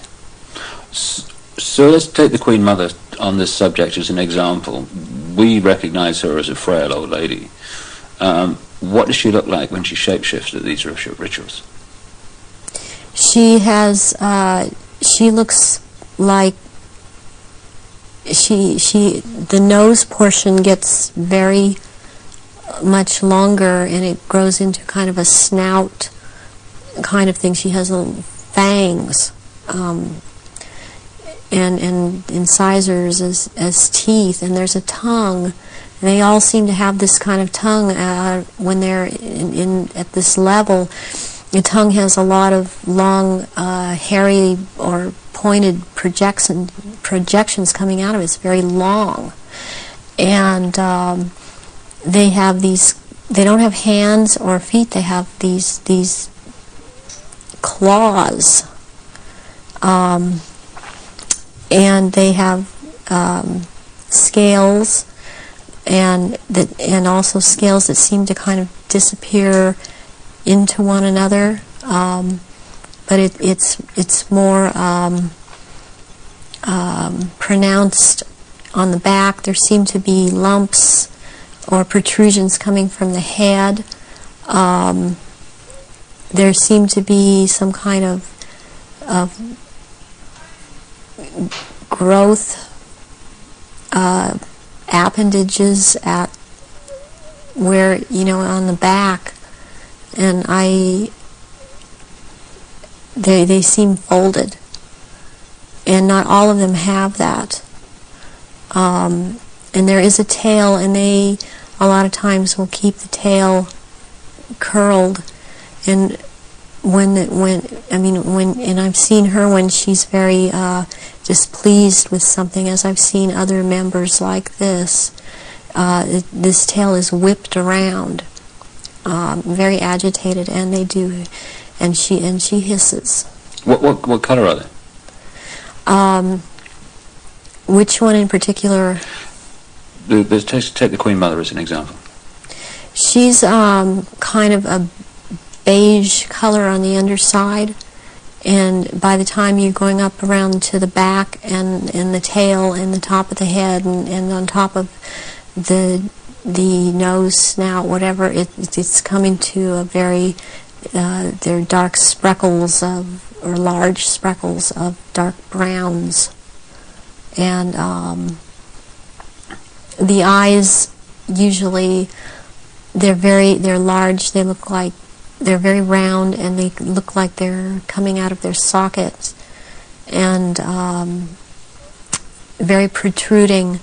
And uh, usually the color ranges um, from a beige to a gold to a dark greenish gold. And then there's this dark slit up and down uh, a vertical slit. And um, when and, and the eyes will look hooded. Um, and when they look hooded, it's a very frightening thing because it seems that when the eyes are hooded, uh, they're about to do something. What do you mean by hooded? The, the lids come down, and they it, like there. It's almost. I guess it would be the same thing in a human as an expression of, of someone's got an idea. And how tall are they when, when they shapeshift? They're about just about seven feet tall. Um, some are some are a little shorter, um, or to a foot shorter. Uh, some are a little bit taller than seven feet. So, what what would the Queen and Prince Charles look like in their reptilian form? As to height, as to general appearance? They're, they, well, Charles resembles, um, Charles resembles uh, in both ways, in human form and in, uh, in reptilian, re he resembles Pindar. He's shorter, though, in, in reptilian form than Pindar. But he, then the the way that the uh, the reptilian the, the nose shapes into the snout at that point, and the jaw becomes the underpart. Um, it, it it's very um, much like Pindar, and his mother doesn't um, look quite the same as he does. Um, but what does the queen look like? The queen, she's she's uh, darker, um, not quite so pale. She's darker. Um, all over, she doesn't have the amount of, of I, I would call it freckling. Um, it's more like a gradual, uh, like the skin is gradually getting darker. It's more smooth. And she does have the lumps up on around her head and down the tail, the spine. Charles has the, the the tails down around the spine, and funny enough, he has the uh, the uh, protrusions from the skull in the in the reptilian form, where about or above, right above where it seems like his ears would have been. What um, what is it about the rituals that allow the shapeshifting to happen? Um, when they when they the victims are starting to be sacrificed, it's the scent of the blood, and they start shapeshifting at that point in time, and they can hardly wait to get to the blood. There's it's it's like it, they're addicted to the to the blood, and um, then the consumption of human flesh that follows. What have you seen the Queen um, or any of the royal family do in relation to that? You've seen them. Have you seen them sacrifice and and uh, and uh, consume human flesh? There are certain times when they will actually do a sacrifice, or there will have been someone doing a sacrifice, and it's not happening fast enough for them. So they will step in and finish it themselves because it, the sacrifice has, the ritual has to be gone through. The, it's sacrificially, I mean, ritualistically, it has to have been gone through. And they will step right in and just start tearing this this th- the throat out, and um, they're getting all this blood from the jugular vein at the same time, and that has happened when they when there are many there that are going to be sacrificed and they just can't wait and and tearing into um, the contents of, of the uh, abdomen and stomach of a victim afterwards. Who have you seen do that? I've seen uh, the Queen Mother do that, and Prince Philip and Charles. Um, I've seen um, uh, Rothschild do this. Um, it seems that I've seen it more among royalty or so, so-called royalty do this than people that aren't are not titled. That they don't seem to. They seem like they. It feels like they don't dare. But they they they shapeshift nonetheless. But it's like the royals that step in and just start tearing away as they can hardly wait. How long can they hold the reptilian form in these occasions? In during the rituals, it's much easier for them to hold their reptilian form. They can stay in that form. What is the what what it is is that they can they have a hard time holding their human form. And uh, as long as they're around blood and the scent of blood, they can't hold human form. Right. Where do you think the um, story of Diana fits into all this? In terms of the ritual that you, you know about and the royal family background that you know about. What was what was all that about? What happened in Paris? Diana was a ritual sacrifice because she's named after a goddess Diana. She was chosen from before birth for the purpose of which she served.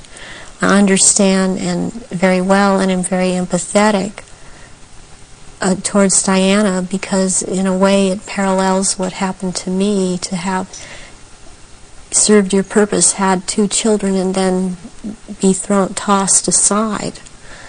And um, to her horror, though, she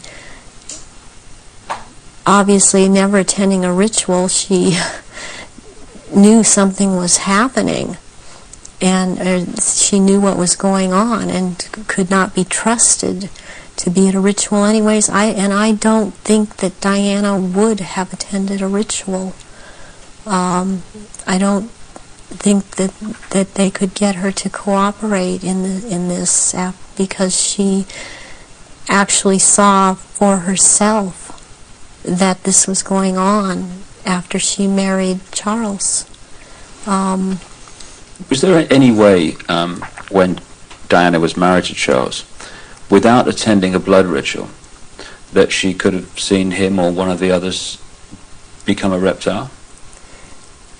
they have a tendency when they're asleep uh, to shapeshift and not they have they have to consciously hold their form and when they're asleep um, they have a tendency to not hold human form and to shapeshift uh, into reptilians and um, there could be other things that happen. You know I'm thinking about the times that Diana would have would have gone through a menstrual period, well, that would have uh, also uh, really triggered some of these people in the royal family that are reptilian around her to want to shapeshift, or any any woman, any human woman in in that household that would be having a period would that scent of blood would tend to uh, cause a momentary shapeshift.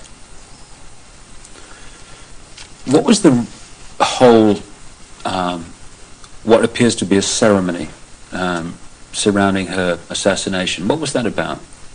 Um, the the rumours that she was pregnant, um, the Egyptian Dodi Fayed, um, and the place where uh, it all happened, which is an ancient sacrificial site to the goddess Diana. Um, how does all that fit together in the rituals that you know about? Um, okay, the the the crown aspect of the goddess is uh, Hecate, and the day of Hecate is on August 13th. And what what is very prevalent in in uh, this with with the Illuminati and what they've done with the Druidism and other and, and Egypt the Egyptian religions is they like to mirror the numbers. And so as as like for example with the goddess Isis, her number is 18. Uh, when you mirror it, it's 81, and that is that is the uh, um, number of the sister of Isis, Nephthys. And Nephthys uh, was considered the evil sister to Isis. Um, with Hecate, what what I think happened here is that she was sacrificed, and it was a very important sacrifice because uh, three people died, and it was a it was a picture of the triad of Isis, Osiris, and Horus to them. Horus being the unborn child of Dodi Fayed that Diana carried and was three months old, which is another very important fact, a number that's important to them to be three months old. Um, sacrificial babies are taken in utero at three, five, and seven months. And um, when I when I heard about this, this was a deal that I understood now had gone down, and um, she had to die in that tunnel because that tunnel's the passageway for Diana, the goddess, and um, she died at the 13th pillar again because of Hecate. And uh, she died on the 31st because it's the mirror image of 13. And um, my my understanding of, of what I get inside of me, and because I was told by Baron de Rothschild last beginning of February when he was in this country and he was uh, there to try and reprogram me again and impregnate me was that he was in the tunnel that night. He had to be there because not only was it a ritual death of Diana, this was also about taking her soul.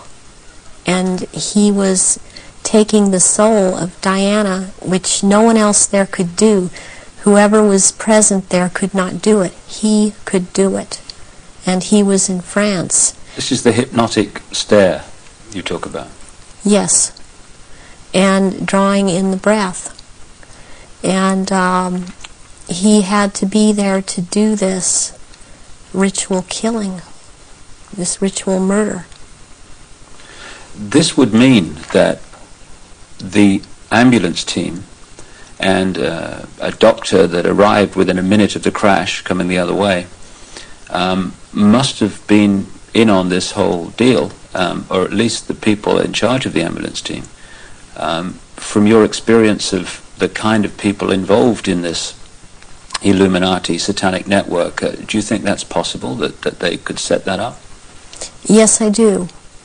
Uh, I've seen a lot of things set up uh, that if you did not know, if you weren't in on the so-called inner circle, or know what what the Illuminati can do because they depend on people not believing they're really there, you would not, uh, you would have a hard time believing it. Uh, that this has been such a secretive group and worked in, in such insidious ways to infiltrate and control. And um, this, there are so many unanswered questions they don't seem to be able to answer about Diana that keep coming up in spite of all the reports that come out because there are people that don't believe what they're hearing. What would have been the purpose of creating such a, a clear and definite ritual in the assassination of Diana? What would be the purpose of, of that when they could have killed her in another way? Because it had to be done as a, as a ritual because they were going to take her soul. And um, it had to happen in the tunnel. It had to happen that way. It had to happen in that year. And this is all, there's all a timeline to all of this. There's been many rumors that she was pregnant. Um, but uh, as I understand it, one of her friends says that that was not possible because she knew that very shortly before uh, she'd uh, had a menstrual period. Um, is it possible to be uh, pregnant and for that to still happen? Yes, it is. Uh, this happened to me. Uh, I was impregnated uh, with one of my own fertilized egg that was fertilized by uh, the sperm of Pindar. Uh, and uh, he sent de Rothschild to, to impregnate me in this manner. And I was impregnated in October of 94. I had periods up until February when it was discovered, and they seemed normal, uh, not light. And uh, I then was, since I had the background of a nurse, I was and had worked uh, deliver, with a nurse midwife delivering babies. I was, for some reason, it occurred to me to check my stomach, my abdomen, and I realized that I was pregnant, and so I ended up uh, seeing a doctor who told me, I mean, he, he uh, verified you're pregnant. He did it with blood test, with the urine test, and uh, ultrasound exam, and if I don't um, do an abortion on you tomorrow, uh, you're going to have to go through a different type of abortion, which probably would have been a saline abortion. And I knew what I was pregnant with by that time. And so I was terrified to go through with it, and I did, could not go through with it, knowing what I knew. And so I had the abortion, but I had periods the whole time. You were impregnated uh, at the point that it happened without you having any knowledge of it. No, I did not. Is it possible that that happened to Diana um, if she was, as um, the evidence that I've looked at suggests, um, also um, mind controlled and a multiple from the early part of her life? That that is definitely more than a probability. Um, the the thing about being multiple or, or dissociative identity disorder is that the host uh, person doesn't know that they are, but they have missing time, but then they have amnesia for the missing time. They don't realize they're missing time. They don't realize things are happening to them. They they show up you know, pregnant, they show up with marks on their bodies. They don't know, well, I, oh, I think I must have bumped myself, and that's not actually how it happened. Or they have needle marks on their body when they've been gotten a hold of and drugged. And um, it's only when they start to realize something's not right and they try and make a timeline and try and account for their time they realize there's so much they can't account for that they simply took for granted. Oh, I was out shopping, or I was at this person's house, or I was over there. Then they realize they don't have a time, a timeline for any of these things. Do you think that um, Diana's two children were, were Prince Charles's children? Um, I do not believe that William is I've heard that he was uh, Ed um, Charles's son. I've heard about someone else, and I believe that it was neither. I believe that that this child of Pr Prince William is the son of Pindar, and she was impregnated, and does not real and she did not realize that.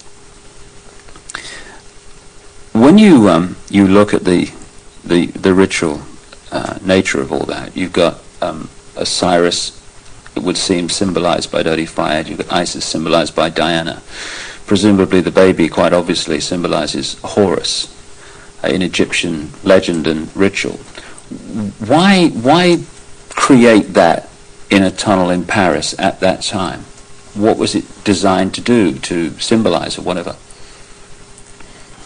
It's to symbolize it's it's part of symbolizing getting ready getting the world ready to recognize uh, the horus that is about to come upon us in the year 2000 as the year 2000 is the age of horus and osiris reborn. And there's a sacrifice involved. And the sacrifice is um, the mother, and the sacrifice is is this child, and yet it involves another child who yet lives by the same mother. And um, you're talking about William.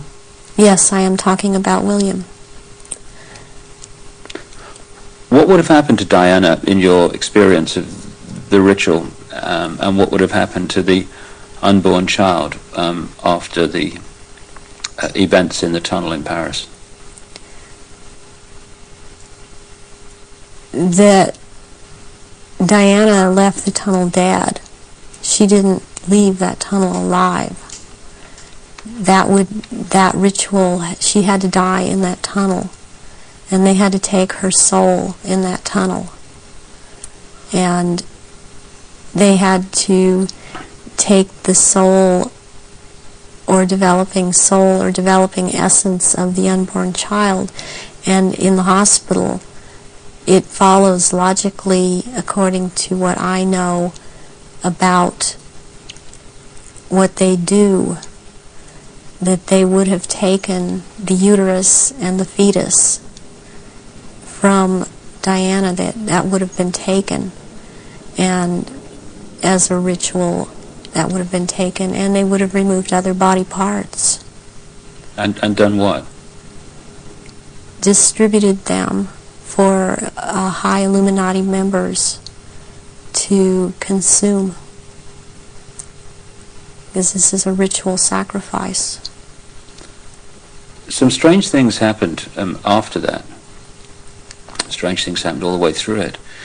But suddenly, um, the decision was made that she would not be buried in the local church where she wanted to be buried, but on an island among the trees in a lake at Althorp Park.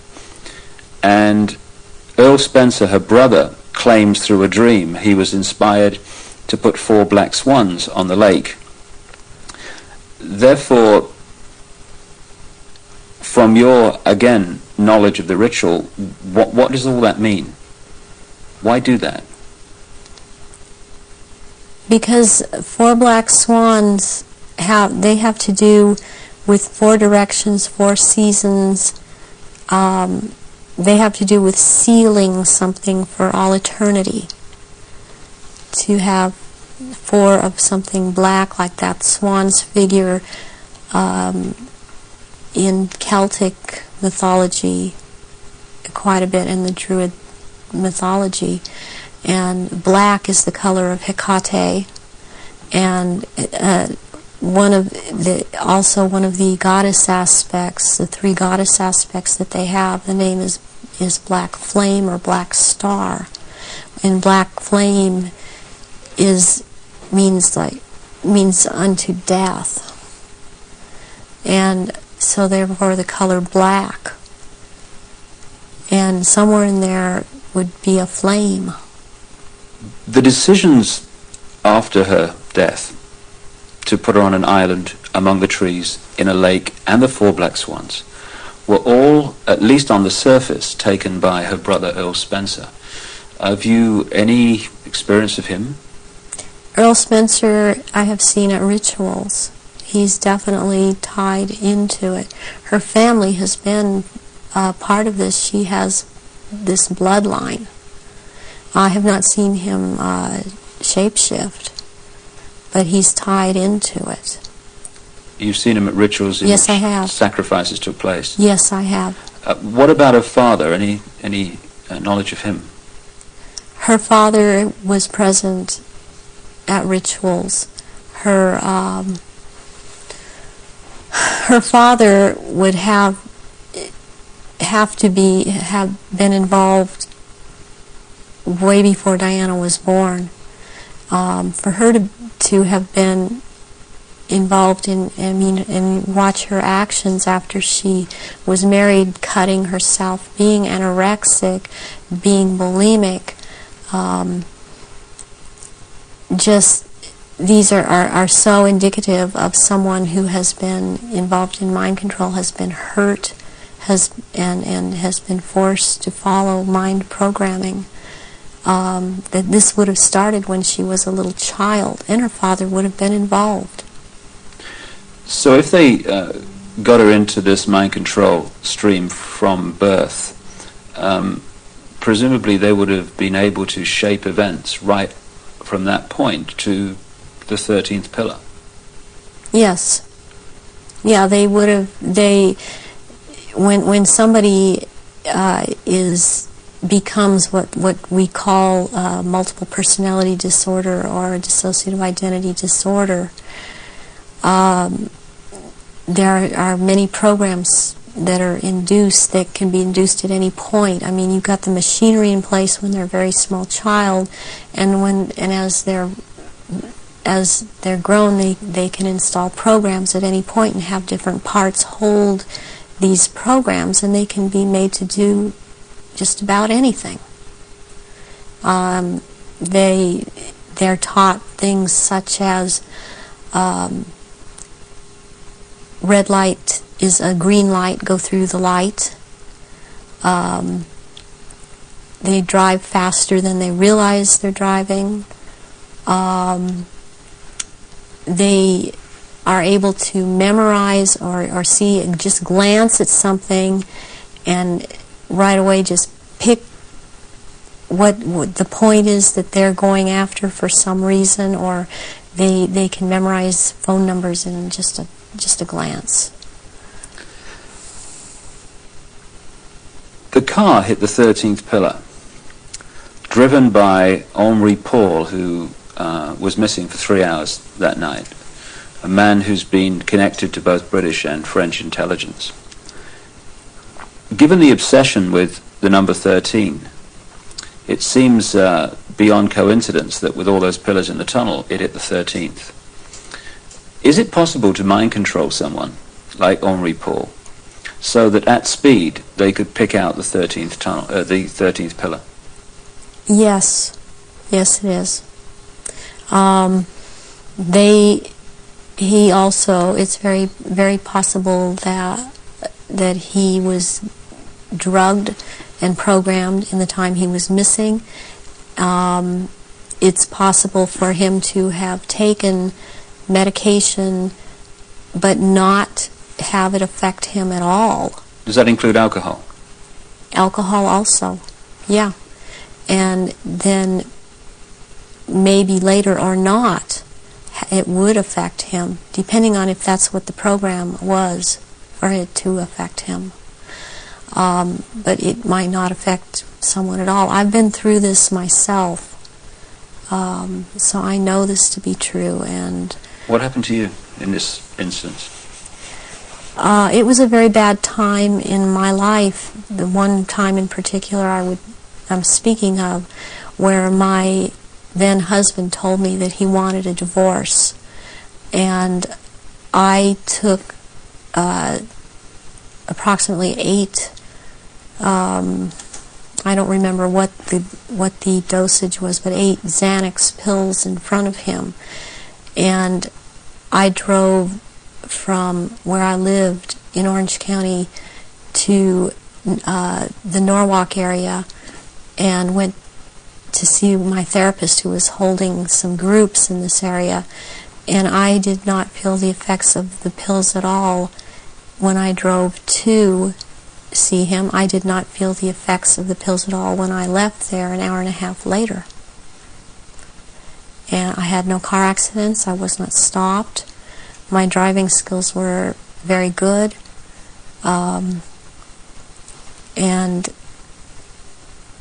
I've seen this happen with other people that have had the mind control uh, programming and, and this uh, DID, and um, you just swallow up medication, and one part holds on to it, and it does not affect the body. So if you're in a compartment that is not connected to taking the pills, you, you, you're not affected by it. But if you were put into that compartment that uh, took the pills, if you like, um, you would be affected by them. Yes, and you can also have what what they can do with you is have a whole bunch of, of alters or parts lined up that okay you will be out from this point to this point and then you this next part will be out at this from this point to this point they can keep going like that. It can be a very complicated long thing but they can line them up that way. It's that's the way the programming goes. Do you think this could explain the apparent mystery of a um, alcohol reading of Henri Paul that was equivalent to eight, eight Scottish on an empty stomach, um, while the video evidence of the Ritz Hotel security cameras uh, is that this was not a man in the minutes before he drove Diana into the tunnel um, that was in any way at that level of um, drunkenness. Yes, that that can very well explain it. Um, you, uh, with this kind of, of mind control programming that they do, um, once you go into that mode that they want you in, um, you can be hurt and in a lot of pain, or you can be drugged to the gills, um, or have drunk too much, uh, and you appear to be in no pain at all, appear to be perfectly with it, um, and you don't feel it. You feel all right. people would find it difficult just coming from their own uh, kind of uh, experience and uh, observation that someone could drive a car into a tunnel at uh, considerable speed and, and pick out among 30 odd the 13th pillar. Um, how, how, is, how is that possible for, to program someone to do that? Because that someone has been taught and programmed and taught and programmed and taught from for quite a while how to do this at a very fast speed. The mind works very fast.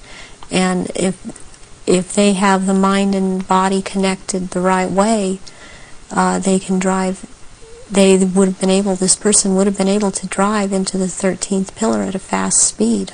Would that have been happening on a conscious level, or would the subconscious have been pulling the strings? This would be on a subconscious level, and person would not be aware themselves of what they were doing. In those crucial minutes before um, Henri Paul got in the car and drove away, would someone have had to have given him the trigger to access and activate the programming then? Or could he have been in some way pre-programmed to be triggered at that time? And if so, what would that be? Well, he was probably programmed to do all of this at a trigger signal. And so what happened is that somebody triggered him with a preset signal that he was told when when you are given this signal you will act out you know and, and but the program was already set to go off when the trigger uh, when he saw the trigger. What form could this trigger have taken? it could have been a hand signal. It could have been a certain type of handshake. It could have been a color that he saw that was flashed in front of his face. Um, it could have been a certain person doing a, a, hand signal. It, it's most likely that it was there was a person present that he was to react to when this person said something or signaled him in some way. Given the extent of your uh, programming from birth, uh, how was it possible for you to break out of it, um, as you appear to have done now? One thing that happened is that in uh, 1989, my programmer handler died, who was Mengele. And he was in this country so much, and I was around him so much, and he had a lot of control over me. Um, and what happens when a programmer handler dies, uh, they usually have taught the person that they've been working on, working with, uh, to be very, very loyal unto death to them, and that's something that that they, uh, in the end, it it it is. Uh, it works against everything because when they die, uh, even someone else coming in and trying to take over, uh, the, a lot of these uh, alters are not open to that and are loyal to that one person. And in my case, um, Baron Guy de Rothschild is the one that tried to take over. And uh, for some number of years, there was a lot of the time, half the time, they got their way, and half the time they didn't. Um, and in major things, uh, they didn't. They did not get their way. Um, one of the things that I went out and did in 1993 was I cut my hair off, and because I was uh, publicly seen and known to have very, very long hair, um, I could no longer be seen. I could not be seen with my hair cut off short. This would have caused a lot of questions with other people that had been programmed. And um, they still tried to carry on with other parts where I wouldn't have to be publicly seen because they still consider me to hold this status. And they still consider me their property. I was always told I was their property. One, one question that people would, would, would ask is, is given all that you know, um, why don't they just take you out? They still have plans for me, and this was uh, told to me just a few days ago by someone else uh, who has been who has spoken with with Baron Guy de Rothschild that they have plans for me, and uh, they plan to try to have me back because of the psychic abilities, and um, that is not going to happen. In the little bit of tape we've got left, um, could we just, just turn the subject to the jury uh, you've got to, to, to your left there? Um, what, what, what, what is that? Was that part of the ritual that you were, rituals that you were involved in?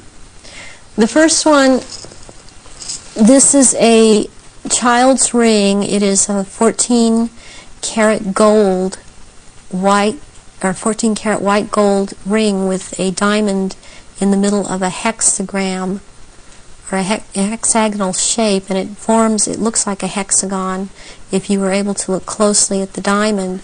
This was returned to me by my ex-husband who told me well this was in your daughter's clothes.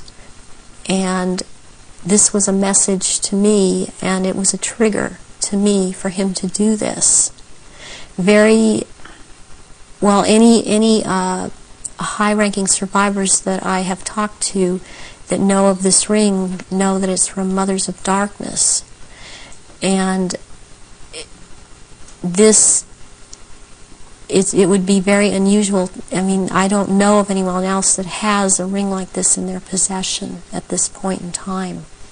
And, and what's the uh, necklace? The necklace here is made out of copper and it's very Egyptian and it was given to me when I turned 19 and that's an important age because you really start at the position I was at uh, having these psychic powers in full effect and being allowed to do this in full effect during rituals and this was worn during certain rituals. Why copper and why, why, why have it at all? Copper is a transmitter. Copper is has always been used in the occult.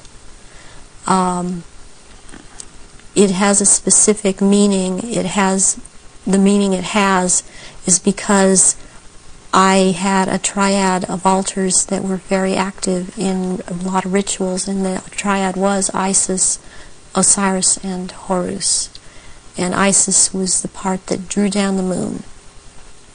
And Osiris performed the rituals, and Horus was what was born of performing those rituals.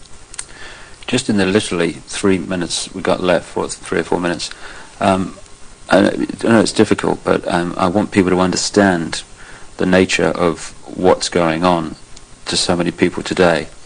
What sort of things were done to you as part of your traumatization as a child and later? I was electroshocked to the extent that, and that I, my parents were told when I was in first grade that my IQ was 70 and that I was retarded, and they said I would be retarded. Um, I always had trouble in school because when I was in school because I missed so much school. My school records are missing; they've just disappeared. Um, I have medical records that are missing. Um, my birth certificate appears to have been tampered with. Um, I have had my eyelids taped open, and so I couldn't shut my eyes. I have been electroshocked. I've been put into a narcoleptic sleep and had earphones placed over my ears and had messages repeated and repeated for days. Um, I've had drugs uh, injected into my body so that my nerves were just like on fire and then they would just touch me. I've had, since I wasn't allowed to have marks on my body, they couldn't use a cattle prod on me, but they do use cattle prods on people uh, in torturing them, and they do use electrical stimulation to the genitals uh, and also on the teeth and um, they like to inject between the toes and under the fingernails and up in the gums Um, I've also had some kind of scarring done up through the roof of my mouth all the way to the brain stem back here that gives me a photographic memory.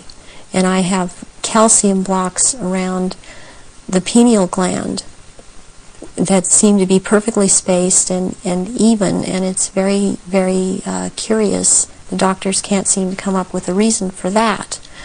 Um, I have been programmed to be anorexic, to be bulimic. Um, for the government programming, since I was also used by this, uh, the government in this country, I was programmed to cut my arms if I started to remember, which I was punished for by the Illuminati, as I was not to have these marks upon myself.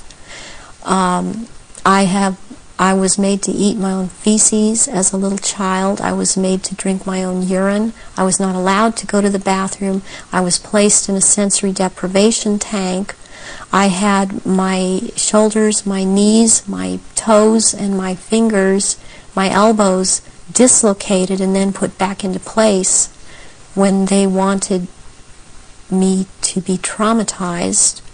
Um, I've had repeatedly had phone calls of tones coming over my phone and tones that you can't make by pressing telephone buttons, tones that sound like sonar sounds from a submarine, um, tones that sound like they were made by some type of instrument. And I have had directed energy used on me, ELF, uh, low frequency electric waves used on me, microwave energy, and this in turn created has created uh, two different. I have would hear uh, one tone in one ear, one tone in different tone in the other ear. It creates a third tone. They're called tritones. They change the electrical activity of your brain waves, and uh, to put you in the state they want you in. Um, I have been programmed to run through red light, thinking it's green. Um, I've been there's been a lot of programming done around my children. They've used my children against me, and it's a very painful subject with me. Um, to know that this is happening to my children, the same thing that's happened to me. I it's hard. It's easier. I don't. I don't know if I can make people understand this. It's easier for me to have. Okay, I can handle that. I went through this and what I want most is to expose these people because of what they're doing to children all over. But they, they're doing it to my children too. And my daughter believes I've abandoned her. My son believes I abandoned him. Um, and they don't have hope when they're when, when they're children they, they don't have hope when their mother's taken away from them and they're told that their mother just left them so this is something, this is a cycle that goes on with thousands and thousands of survivors, not just myself. And this is how they perpetuate it if there is a parent that's protective that believes and has found out this is happening.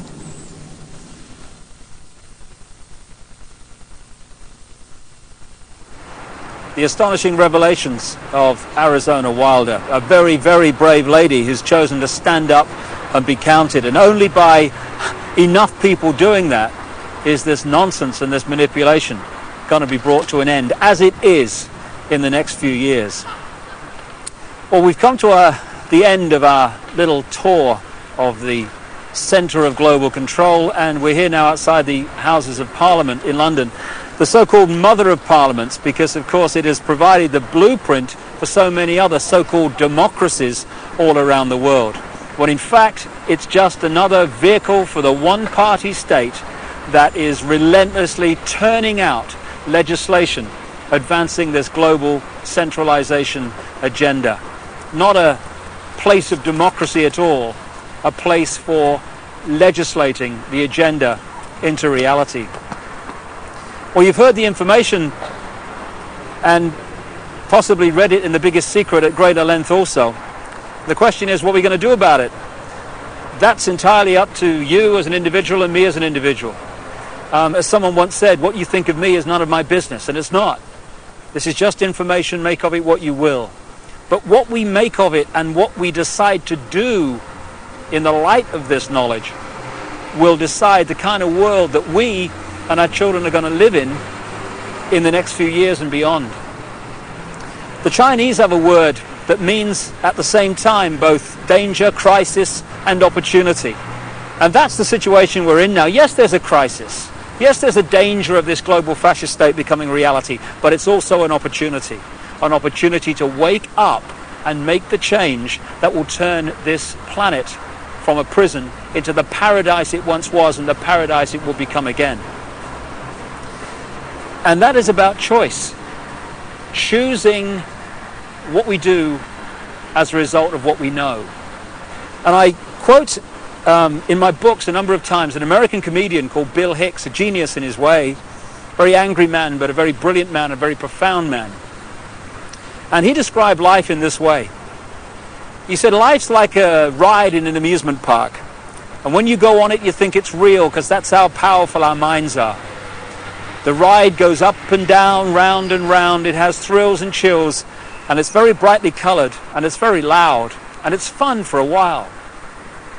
Some have been on the ride for a long time. And they remember and they come back to us and they say, hey, don't be afraid ever because this is just a ride. And we kill those people. Shut him up. I've got a lot invested in this ride. Shut him up. Look at my furrows of worry and my family and my big bank account. This has to be real. It's just a ride. But we always kill those good guys who try to tell us that and let the demons run amok. But it doesn't matter because it's just a ride. And we can change it anytime we want. In other words, it's just a reflection of our own attitudes. And to change, as Bill Hicks said, doesn't need big bank accounts. It just means a choice right now between fear and love. Fear is the four letter word that has controlled this planet and this human race for thousands of years. Love is the word that will set us free. And that's the choice we face now. And the world that those two choices will create will be so different as to be unexplainable. The chasm between the two a prison or a paradise. I just want to say one other thing before we finish this video. I don't want to demonize the reptilian race because it's just a genetic stream in the great forever. I'm talking about a small number of this reptilian race that is behind this manipulation, not the race in general. And indeed, many of the reptilian stream, both in physical bodies and in other dimensions, are working now to help humanity win their freedom, win our freedom back. And I'd like to thank once again also Arizona Wilder for having the guts to stand up and speak her truth. And if enough people do that, then this house of cards, because that's all it is in the end, is going to fall. And I'd like to thank also my friend Brian Desborough for helping Arizona and for his own commitment to truth. We're now at the crossroads of the evolution of the human race, or a crossroads anyway. And the good news is this. There is a global awakening going on. I've spoken in something like 20 countries in the last 18 months. People are waking up. They're asking questions. They're seeing themselves and the world in a different light. And this is going to gather pace and is gathering pace all the time. And it's this transformation of human thought and perception that is going to bring the change that we've dreamed about for so long. Dreams are merely imagination which can be made reality if we're prepared to do what is necessary to, to achieve that. That's the challenge we face now. It's a wonderful, wonderful time to be alive, and we're all privileged to be here to play a part in setting this world free for the first time in known human history. From the epicenter of global control, but not for very much longer. Thanks for listening. Goodbye.